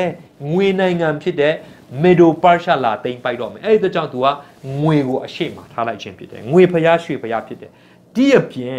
သူ့ကိုပေါ်ပြတဲ့အခါမှာကိုတော်ကြီးအမှုအလုံးစုံတို့ကိုစီရင်ပိုင်တော်မူသောလို့မပြောခင်မှာကိုတော်ကြီးအသက်သခင်သည်ဟူသောလို့ပြောပါတယ်။သူ့အဖေခက်တုံးကကိုတော်ရဲ့နိုင်ငံတော်ကိုပေးသောဖျားလို့ပြောပေမဲ့လည်း သူ့ခက်မှာကြတော့နော်ဘေလရှဇာမင်းကြီးခက်မှာကြတော့ကိုရောကြီးအသက်သခင်သည်ဟူသောလို့ပြောတဲ့ခါကျသူ့ရဲ့ထွက်သက်ဝင်သက်ကိုထိမ့်ပေးတဲ့ဖယားလို့ပြောလိုက်တဲ့အခါမှာနဲ့အသက်ကိုဖယားပိုင်တယ်လို့ပြောလိုက်ခြင်းဖြစ်တယ်။တနည်းအားဖြင့်ပြောမယ်ဆိုရင်တဲ့အသက်ကဖယားလက်ထဲမှာရှိတဲ့ကြောင့်ဖယားကဒီနေ့စီရင်ပြီးတဲ့အဖိုးခက်တုံးကတော့သူ့ရဲ့နိုင်ငံထဲကနေနင်ထုတ်တာပဲရှိသေးတယ်။နော် ဒါပေမဲ့လည်းသူကနိုင်ငံပြန်ရသေးတယ်အခုတော့အင်းအသက်ကိုပိုင်တဲ့လူလို့ပြောတဲ့အခါမှာသူ့အသက်ကိုထိခိုက်တဲ့အကြောင်းကိုနမိတ်ဖတ်လိုက်ခြင်းဖြစ်တယ်အငယ်24မှာထို့ကြောင့်လက်ဖျားကိုဆေလွတ်၍ထိုစာကိုရေးစေတော်မူထို့ကြောင့်လက်ဖျားကိုဖျားကဆေးလွတ်ပြီးတော့အဲ့ဒီစာရေးလိုက်ခြင်းဖြစ်တာပဲလို့ပြောလိုက်ခြင်းဖြစ်တယ်ငွေ25မှာစာချက်ဟူမူကားမင်းနေမင်းနေတေကလဖေရက်ဟုအခရာတင်လျက်ရှိ၏လို့ရေးထားပါတယ် ဆိုတော့ရှင်ဘရင်ကြီးရဲ့အပြစ်ကိုခုနကအငယ်24 23ထဲမှာအထေအသေးချာဖော်ပြထားတဲ့အရာတွေကျွန်တော်တို့ချက်ပြန်ကြည့်မယ်ဆိုရင်နံပါတ်1ကစိတ်ကိုမနှိမ်ချဘူးတဲ့စိတ်မနှိမ်ချခြင်းကိုကိုကိုချီးမြှောက်လွန်းခြင်းဟာအရန်ကြောက်စရာကောင်းတဲ့အရာဖြစ်ပါတယ် AD 44မှာရှင်ပေါလုတို့ခက်မှာဟေရုမင်းကြီးကတမန်တော်20နှစ်အာတမန်တော်ဝတ္ထုကိုင်း7နှစ်ငယ်20နှစ်ထဲမှာနော် အော်ဒီဟေရိုမင်းကြီးလူတွေကချီးမွမ်းလွန်ပြီးတော့သူ့ရဲ့အတန်ကလည်းဖျားအတန်လိုပဲတဲ့လူရဲ့အတန်နဲ့မတူဘူးဆိုပြီးသူ့ကိုချီးမွမ်းလို့တဲ့ကြောင့်တည်သွားတယ်ဖကောင်းကင်တမန်လာပြီးတော့သူ့ကိုရိုက်ချပလိုက်ပြီးတော့သူ့အထဲမှာပိုးတွေကကိုက်စားပြီးတော့တည်သွားတယ်ဆိုတော့ကိုကိုကိုချီးမြှောက်လွန်တဲ့လူတစ်ယောက်ရဲ့အဖြစ်ကြောင့်ကျွန်တော်တွေ့ရတာဖြစ်ပါတယ်ထိုနည်း၎င်းပဲအခုချိန်မှာဒီရှင်ဘရင်ကြီးကသူ့ကိုသူအရန်ချီးမြှောက်ပြီးတော့နှိမ်ချမဲ့အစားသူ့ရဲ့စိတ်ကိုမာမာနထောင်လွှားစေတယ်တဲ့ပြီးတော့ သူကိုယ်တိုင်ကသူ့အဖိုးအကြောင်းတိတာပဲဆိုတဲ့စကားလုံးကတိရဲ့ဓာတ်နဲ့ဂယုမဆိုင်တဲ့အပြစ်ကိုဖော်ပြထားပါတယ်ကျွန်တော်တို့ဥပ္ပစာပေက၃ချက်ဖော်ပြထားတယ်ကျွန်တော်စမ်းစာကိုတေချာဖတ်ကြည့်ရကျွန်တော်၄ချက်တွေ့ပါတယ်အဲ့ဒါဒုတိယမြောက်ဖြစ်တယ်တတိယတစ်ခုကကိုကိုကိုချီးမြှောက်တယ်တဲ့နော်စိတ်ကိုမနှိမ့်ချဘူးပြီးတော့ကိုကိုကိုချီးမြှောက်တယ်တတိယတစ်ချက်အနေနဲ့ကျွန်တော်တွေ့ရတယ်ဆိုတော့ဒိုင်လာအခန်းကြီး၈ထဲမှာကျွန်တော်ကြည့်တဲ့အခါမှာဂျိုကလေးကလည်းကိုကိုကိုချီးမြှောက်တဲ့ပြဿနာသူ့မှာရှိတယ်အဲ့ဒီပြဿနာတအားကြီးလွန်အားကြီးပါတယ်တဲ့တဲ့တာမှာ လူတွေကကိုယ့်ကိုမချီးမြှောက်တဲ့အခါမှာကိုယ့်ကိုချီးမြှောက်ခြင်းဖျားချီးမြှောက်ခြင်းကိုမဆောက်နိုင်ပဲနဲ့ကိုယ့်ကိုကိုချီးမြှောက်ခြင်းအမှုကိုလူတွေခဏခဏပြုတတ်ကြပါတယ်။တင်းသက်တာမှာအဲ့ဒါကိုလုံးဝကင်းဝေးအောင်ရှောင်ပါ။ဖျားချီးမြှောက်သောကာလအထိအေးအေးဆေးဆေးဆောက်နေပါ။ဖျားအချိန်တိုင်ရင်ချီးမြှောက်တယ်။တင်းဖက်ကဖျားနဲ့မှန်ကန်ဖို့တာအရေးကြီးပါတယ်။ကိုယ့်ကိုကိုချီးမြှောက်ခြင်းကိုရှောင်ခြင်းပါလို့ကျွန်တော်နှုတ်ကပတ်တော်နဲ့အားပေးခြင်းနဲ့ပြီးတော့ဖျားသခင်ရဲ့အိမ်တော်မှာရှိတဲ့ရွှေငွေဖလားတွေကို မတန့်ရှင်းတဲ့နေရာမှာအသုံးပြုခြင်းဖြစ်တယ်ကျွန်တော်တို့ခုနလည်းတခုပြောပြီးပြီပြီးတော့ဖယားသခင်ကိုမချီးမြှောက်ဘဲနဲ့ငွေဖယားရွှေဖယားတွေတစ်သားဖယားတွေเนาะဒါတွေအကုန်လုံးကိုသွားပြီးတော့ချီးမြှောက်ပါတယ်ဒီနေရာမှာပြောပြချင်တာကအာဒီဖယားတွေကမျက်စိရှိတော်လည်းပဲမမြင်နိုင်ဘူးနားရှိတော်လည်းမကြားရဘူးเนาะခေါင်းရှိပေမဲ့လည်းမတိနိုင်ဘူးဆိုတဲ့အချက်ကိုသူမိမောင်းထုတ်ပြသွားတာဖြစ်တယ်နောက်ထပ်တစ်ခုအာ 6ခုမြောက်အနေနဲ့ကြည့်မယ်ဆိုရင်ဖယားသခင်ကိုမချီးမြှောက်ဘူးလို့ပြောပါတယ်ခုနကရွှေတွေငွေတွေကိုတော့သူကချီးမွမ်းတယ်တနည်းအားဖြင့်ပြောမယ်ဆိုရင်သူတို့ခက်တုံးကသူတို့မှာဖယားတွေအများကြီးရှိပါတယ်အဲ့ဒီဖယားတွေအများကြီးကိုးကွယ်ပြီးတော့ပူဇော်ပြီးတော့ချီးမြှောက်တဲ့အချိန်မှာသူတို့အနေနဲ့ဒံယေလရဲ့ဖယားမာဒီဆဒရက်မစ္စကဘန်နဂိုရဲ့ဖယားလဲဖယားအနေနဲ့သူတို့တိမတ်ပြူတာပဲသူ့ကိုကြတော့ချီးမြှောက်တဲ့အထက်မှာမထည့်ဘူးအဲ့ဒါကိုလည်းပြောချင်တာဖြစ်ပါလိမ့်မယ်နှုတ်မဟုတ်ရင်တော့ အဲ့ဒီထာဝရဖယားကိုတခုထဲကိုတပါးသီးထဲကိုဒါချီးမြှောက်ခိုင်းနေတဲ့သဘောမျိုးမဟုတ်ပဲနဲ့ဒီဖယားတွေအကုန်လုံးကိုသူကချီးမွမ်းပြီးတော့တကယ်တမ်းသူ့အဖေကိုကောင်းကြီးပေးပြီးတော့အာချီးမြှောက်နေတဲ့ဖယားအသက်ရှင်သောဖယားဒန်ယေလရဲ့ဖယားကိုကြတော့သူလုံးဝချမ်းလက်ထားပြီးတော့ချမ်းလက်ထားတဲ့အပြင်အဲ့ဒီဖယားရဲ့နန်းတော်ထဲမှာအသုံးပြုတဲ့ခွက်တွေဘာတွေအကုန်လုံးကိုသူအသုံးပြုလိုက်ခြင်းအပြင်အဲ့ဒီဖယားကိုစော်ကားနေတဲ့အကြောင်းကိုဖော်ပြခြင်းဖြစ်တယ်ဒါတွေအကုန်လုံးက ဒီဘေလရှဇာမင်းကြီးရဲ့အပြစ်တွေဖြစ်တယ်ဆိုတာတွေ့ရပါတယ်အဲ့ဒီအတွက်ကြောင့်လဲတရားစီရင်ချက်ထက်ချင်းရောက်လာခြင်းဖြစ်တယ်အငယ်25မှာခုနကျွန်တော်ဖတ်တယ်လို့ပဲမင်းနဲ့မင်းနဲ့တေကလဖေရက်ဆိုတဲ့စကားပေါ်လာတာဖြစ်ပါတယ်အ내အတိတ်ပဲကတော့26ဒီမှာရေးထားပါတယ်ဘယ်လိုရေးထားဆိုမင်းနေအ내အတိတ်ပဲကကိုရောဤနိုင်ငံတော်ကိုဘုရားသခင်ရေတွက်ရိတ်ဆုံးစေတော်မူပြီးရေတွက်တယ်လို့အတိတ်ပဲရပါတယ် ဆိုတော့ဘာဖြစ်လို့မင်းနေဆိုတာနှခါလာတယ်လဲဆိုတာစဉ်းစားစရာဖြစ်ပါတယ်ဒါအာအထူးပြုတာလည်းဖြစ်နိုင်တယ်လို့တစ်ဖက်မှာရှင်ဘရင်ကသူတို့ဘာဘူးလို့ပြည့်ရှင်မင်းကြီးနှစ်ယောက်ရှိတာကိုတခုကသူ့ခမည်းတော်ဖြစ်တယ်နောက်တစ်ယောက်ကတော့ဘေလရှဇာမင်းကြီးဖြစ်တယ်ဘေလရှဇာမင်းကြီးနဲ့နာဘိုနီဒတ်ဒီနှစ်ယောက်စလုံးပြိုကျသွားပြီသူတို့နှစ်ယောက်ကိုခေါင်းလိုက်ပြီဆိုတဲ့အခါမှာသူတို့ရေတွက်လိုက်ပြီဆိုတဲ့အခါမှာမင်းနဲ့မင်းနဲ့လို့နှစ်ခါရေတာဖြစ်နိုင်တယ်လို့ကျွန်တော်တို့အာသုံးသပ်လို့ရတာဖြစ်ပါတယ် ပြီးတော့ကိုရက်နိုင်ငံတော်ဖရာရည်သိရေဆွဲရေဆုံးစေတော်မူပြီးတေကလဤအနက်အဓိပ္ပယ်ကကိုရောကိုချိန်ခွင်နဲ့ချိန်၍ရော့အကြောင်းကိုတွေ့မြင်တော်မူ၏အဲ့ဒီခက်တုံးကဒီတေတေကလဆိုတဲ့စကားလုံးတက်ကဲပေါ့နော်ဒီတက်ကဲဆိုတဲ့အရာကသူတို့ဘာတွေချိန်တယ်လဲဆိုတော့ရွှေနဲ့ငွေနှမျိုးပဲချိန်ပါတယ်။ အဲ့ဒီနှမျိုးပဲချိန်တဲ့ချိန်ကိုဒီမှာအသုံးပြုခြင်းဟာဘုရားသခင်ကသူ့နိုင်ငံရွှေနိုင်ငံကိုဘာနဲ့တွားချိန်တယ်လဲဆိုတော့ငွေနိုင်ငံနဲ့ချိန်လိုက်တယ်ချိန်လိုက်တဲ့အခါမှာရွှေကအလေးမတာပဲနဲ့ငွေကအလေးတာနေတယ်ဆိုတာတွေ့ရတဲ့အကြောင်းကိုပြောနေခြင်းဖြစ်ပါတယ်အငယ်28မှာဖေရက်၏အနှစ်ဒိတ်ပဲကနိုင်ငံတော်ကိုခွဲဝေ၍မေဒီလူပရတိလူတို့အားအပေးတော်မူ၏ဟုဆိုလိုတည်းဟုဒံယေလဒီအထံတော်၌ပြန်ကြားလျှောက်ထား၏အငယ်28မှာတော့ရှင်းပါတယ်ဒီ ဖေရက်ဆိုတဲ့အဓိပ္ပာယ်ကသူ့နိုင်ငံသူများထဲမှာပေးလိုက်ပြီးခွဲချမ်းလိုက်ပြီးဆိုတဲ့အဓိပ္ပာယ်ကိုပြောနေခြင်းဖြစ်တယ်ကျွန်တော်ဒီနေရာမှာသူ့ရဲ့တရားစီရင်ခြင်းနဲ့ပတ်သက်ပြီးတော့ဂျူးတွေကဘယ်လိုယုံတယ်လဲဆိုတော့အဲ့ဒီကြရှုံးတဲ့နေ့ဟာဂျူးတွေရဲ့နှစ်စဉ်ပွဲခံတဲ့ Day of Atonement အပြစ်ဖြေရာနေ့ပြည့်ပြီးလို့9ရက်အကြာမှာဒီကိစ္စကဖြစ်တာအောက်တိုဘာ12ရက်နေ့ကအာဒီအပြစ်ဖြေရာနေ့ဖြစ်ပြီး9ရက်ရှိတယ်လို့ပြောပါတယ် အဲ့ဒီ9ရက်ပြည့်ပြီးတဲ့အတွက်ကြောင့်တနည်းအားဖြင့်ပြစ်ဖြေရာနေ့မှာတရားစီရင်တာဖြစ်တယ်တရားစီရင်မှုသူတို့ကိုပြုတ်ပြီးတော့တရားစီရင်လိုက်တဲ့အခါမှာသူတို့အလေးကမတာတဲ့အတွက်ကြောင့်သူတို့ကိုဒီလိုတရားစီရင်ခြင်းခံရတာဖြစ်တယ်လို့ဂျူးတွေကအဲ့လိုသုံးသပ်ပါတယ်ဒီတော့ဘုရားသခင်ကနိုင်ငံတွေကိုချိန်ခွင်တဲ့ချိန်ပါတယ်အလေးမတာတဲ့နိုင်ငံတွေကအလေးတာတဲ့နိုင်ငံကိုအရှုံးပေးနေရပါတယ်တင်တဲ့ကျွန်တော်အသက်တာကိုလည်းဘုရားသခင်ကချိန်ခွင်နဲ့ချိန်မယ်ဆိုရင်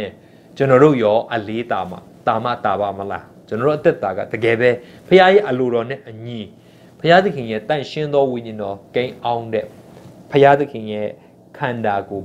တန့်ရှင်းသောဗိမာန်နဲ့ကျွန်တော်အသက်ရှင်ရဲ့လားကျွန်တော်တို့ကိုချိန်ခွင်ချိန်မယ်ဆိုရင်ကျွန်တော်တို့ဘယ်လိုရှိနေမလဲတကယ်တော့ကျွန်တော်ချိန်ခွင်ချိန်မယ်ဆိုရင်ဒါကျွန်တော်ပြောနေတာတကယ်တော့ဖခင်ကျွန်တော်တို့ချိန်ခွင်ချိန်နေခြင်းဖြစ်တယ်တင်းရဲ့ကောင်းမှုကုသိုလ်အဖြစ် တင်းရဲ့ချိန်ခွင်ဘယ်တော့မှအလေးတာမှာမဟုတ်ပါဘူးဒီတော့ကျွန်တော်တို့ဘယ်လိုအလေးတာအောင်လုပ်ရမလဲ သခင်ခရစ်တော်တည်ဟူသောကျွန်တော်တို့ကယ်တင်ပိုင်ရှင်ကိုကျွန်တော်နေ့ရက်စင်တိုင်းသူ့ကိုကျွန်တော်တို့ဝတ်ဆင်ရမှာဖြစ်တယ်သူ့ကိုဆောင်ယူသွားရမှာဖြစ်တယ်ကျွန်တော်တက်တာထဲမှာထည့်ထားရမှာဖြစ်တယ်သခင်ယေရှုနဲ့ကျွန်တော်ရှောက်လှမ်းပြီးတော့သွားရမှာဖြစ်တယ်သခင်ယေရှုကျွန်တော်တို့ရဲ့အသက်တာရဲ့အဓိကနေရာမှာအမြဲတမ်းထားရမှာဖြစ်တယ်အဲ့ဒါမှတာလင်ကျွန်တော်တို့ရဲ့အသက်တာရဲ့အလေးချိန်ကတာမှာဖြစ်တယ်အဲ့လိုအလေးချိန်တာမှတာလင်ဘုရားရဲ့တရားစီရင်ခြင်းမှာအဲ့ဒီတရားရှင်ကျွန်တော်တို့ဝမ်းမြောက်စရာဖြစ်ပါလိမ့်မယ်အလေးချိန်တာမတာခဲ့ဘူးဆိုရင်တော့ကျွန်တော်တို့ အလေးတဒီတရားစီရင်ခြင်းမှာဝမ်းနည်းစရာကြောက်စရာကြောက်ဒူးတုံစရာအကြောင်းခါစစ်ပြုတ်စရာအကြောင်းရှိပါလိမ့်မယ်နောက်ဆုံးတစ်ခုအနေနဲ့ဂျာတပရေနေ့မှာဘာဘူးလုံးပြိုလဲခြင်းပြိုကျခြင်းဆိုတဲ့အကောင်းစဉ်ကွယ်ဖြစ်ပါတယ်ငယ်26ကနေ31ကြားထဲမှာကျွန်တော်အာလေ့လာတော့မှာဖြစ်ပါတယ်ထိုအခါဘာဘေလရှဇာမင်းကြီးအမိန်တော်မူသည့်အတိုင်းဒံယေလကိုအဝတ်နီဝတ်စင်စေ၍လေဘင်း၌ရွှေစလွယ်ဆွဲပြီးမှနိုင်ငံတော်တွင်တတိယမင်းဖြစ်သည်ဟု မြုပ်ကိုလဲ့၍ဟစ်ဟစ်ကြော်ကြ၏နိုင်ငံတော်တွင်တတိယမင်းဖြစ်သည်ဟုမြုပ်ကိုလဲ့၍ဟစ်ကြော်ကြ၏လို့ရေးထားပါတယ်ဒီညမှာမြုပ်ကိုလဲပြီးတော့ hit ကြော်တယ်ဆိုတာအင်္ဂလိပ်စာမှာကျွန်တော်မတွေ့ပါဘူး အဲ့လိုအချိန်ရှိဟန်လည်းမရှိပါဘူးဘာဖြစ်လို့အဲ့ဒီညမှာပဲဒီရှင်မင်းကြီးကတတ်ခံရတဲ့အတွက်ကြောင့်မတော်သူတို့ရဲ့ပွဲချင်းပတာမနဲ့ပိုင်းလာညညပိုင်းလာဖြစ်ပြီးတော့သူအချိန်ခဏလေးရှိတာလည်းဖြစ်ဖြစ်မဲ့သူဘယ်ကနေမြုပ်ကိုလက်အားတယ်လဲတော့ကျွန်တော်လည်းမသိဘူးဘာပဲပြောပြောကျွန်တော်တို့ဒီညမှာသိရတာကရှင်ဘရင်ကြီးကအံ့ဩစရာကောင်းစွာနဲ့ဗာလဲဆိုတော့ तू ပြောတဲ့အတိုင်းပဲ तू အရက်မူးမူးနဲ့ပြောတာဖြစ်ဖြစ်မယ်ဒါပေမဲ့ပြောတဲ့အတိုင်းပဲတကယ်ပဲလုပ်တာဖြစ်တယ်ယောဟန်နှစ်ချင်းဆရာယောဟန်ရဲ့ခေါင်းလဲ ရှင်ဘရင်ကြီးကအရက်မူးပြီးတော့ပျော်မြူးနေတဲ့အချိန်မှာဂတိပေးလိုက်တဲ့စကားအတိုင်းသူပြုတ်လို့ပြီးတော့ခေါင်းကိုဖျက်လိုက်ရတာဖြစ်တဲ့ရှင်ဘရင်တွေရဲ့စကားဟာပြောတဲ့အတိုင်းပဲသူတို့လုပ်ရလိမ့်ရှိပါတယ်ဒီညမှာသူကပြောတဲ့အတိုင်းပဲတကယ်ပဲသူဂတိသူတီခဲ့တယ်ဆိုတော့အံ့ဩစရာတွေ့ရပါတယ်ဒါဒါပေမဲ့ကျွန်တော်အံ့ဩစရာမတွေ့တဲ့အချက်စကလုံးနှလုံးရှိပါတယ်ပထမတစ်ခုကတော့ဗာလဲဆိုတော့သူ တခြားယူဒရှင်ဘရင်တွေဆိုရင်တော့နင်းရဲ့နိုင်ငံသူများစီပါသွားမှာတို့နင်းကိုသူများဖမ်းသွားမှာတို့ prophet တွေပြောပြီးဆိုရင်အမျက်ထွက်ပြီးတော့အဲ့ဒီ prophet တွေကိုလိုက်ဖမ်းပြီးတော့ထောင်ချတာမျိုးနှိပ်စက်တာမျိုးတပ်ပစ်တာမျိုးလှုပ်တတ်တဲ့အချင်းရှိပါတယ်ရှင်ဘရင်တွေကဒါပေမဲ့ဒီရှင်ဒီရှင်ဘရင်ဘေလရှဇာမင်းကြီးကတော့အဲ့လိုမျိုးစိုးညစ်တဲ့အမှုမျိုးမလုပ်ဘဲနဲ့သူဂတိပေးထားတဲ့အတိုင်းဂတိတည်တဲ့အကြောင်းဖြစ်ပါတယ်နောက်ထပ်တစ်ခုမျော်လင့်စရာရှိပြီးတော့မတွေ့ရတဲ့အရာကတော့သူဟာ သူ့အပြစ်ကိုဖော်ပြတဲ့အခါမှာတခြားရှင်ဘရင်တွေသူတို့အပြစ်ကိုဖော်ပြတဲ့အခါမှာသူတို့အင်ဂျီတွေဆုတ်ဖြဲပြီးတော့ဝမ်းနေခြင်းတက်သေးပြပြီးတော့နောင်သားရလေးရှိပါတယ်ဘေလရှဇာမင်းကြီးကတော့ငါလုပ်တဲ့အတိုင်းငါခံမယ်ဆိုတဲ့စိတ်များရှိသလားတော့မသိဘူးအဲ့လိုနောင်တရတဲ့အသက်တာမျိုးကျွန်တော်တို့ဝမ်းနည်းစရာမတွေ့ခဲ့ပါဘူးဖယားသခင်ကလူဆိုးတွေပျက်စီးတဲ့အခါမှာဝမ်းတာနေတဲ့ဖယားမဟုတ်ပါဘူးလူဆိုးတွေပျက်စီးနေတာလဲဖယားမကြည့်လို့တဲ့ဖယားဖြစ်ပါတယ်ယောဟန်ထဲမှာ ဖယားကချစ်တော်မူတယ်တဲ့ချစ်တဲ့အခါမှာလည်းအဆုံးထိချစ်တယ်လို့ပြောပါတယ်ဖယားကဘေလရှဇာမင်းကြီးကိုလည်းချစ်တယ်လို့နော်နေဘုခတ်နေဇာမင်းကြီးကိုလည်းချစ်တယ်နေဘုခတ်နေဇာမင်းကြီးကို तू ကပြန်ပြီးတော့လိမ်မအောင် तू ပြန်ပြီးတွင်တင်ပေးရတယ်ဒီလိုပဲဘေလရှဇာမင်းကြီးမှာလည်းတကယ်တော့အခွင့်အရေးတွေအများကြီးရှိတယ်သူအဖေတုန်းကအခက်တုန်းကဟာတွေလည်းတွေ့ရတယ်ပြီးတော့ရှင်ဘရင်ကြီးကိုဒီမှာလာရှင်းပြတဲ့အချိန်မှာလဲသူ့ကိုတေချာရှင်းပြသွားတယ်ဒါပေမဲ့လည်းသူ့အသက်တာပြောင်းလဲဖို့သူ့မှာအစီအစဉ်လုံးဝမရှိဘူးဆိုတာ ဝမ်းနည်းစရာတွေ့ရတယ်အဲ့ဒီတစ်ချိန်ထဲမှာပဲအာကျွန်တော်တို့ဆက်ဖတ်မယ်ဆိုရင်ထိုည၌ပင်ခါလဒဲရှင်ဘရင်ဘေလရှဇာမင်းဒီအသက်အသက်ဆုံး၍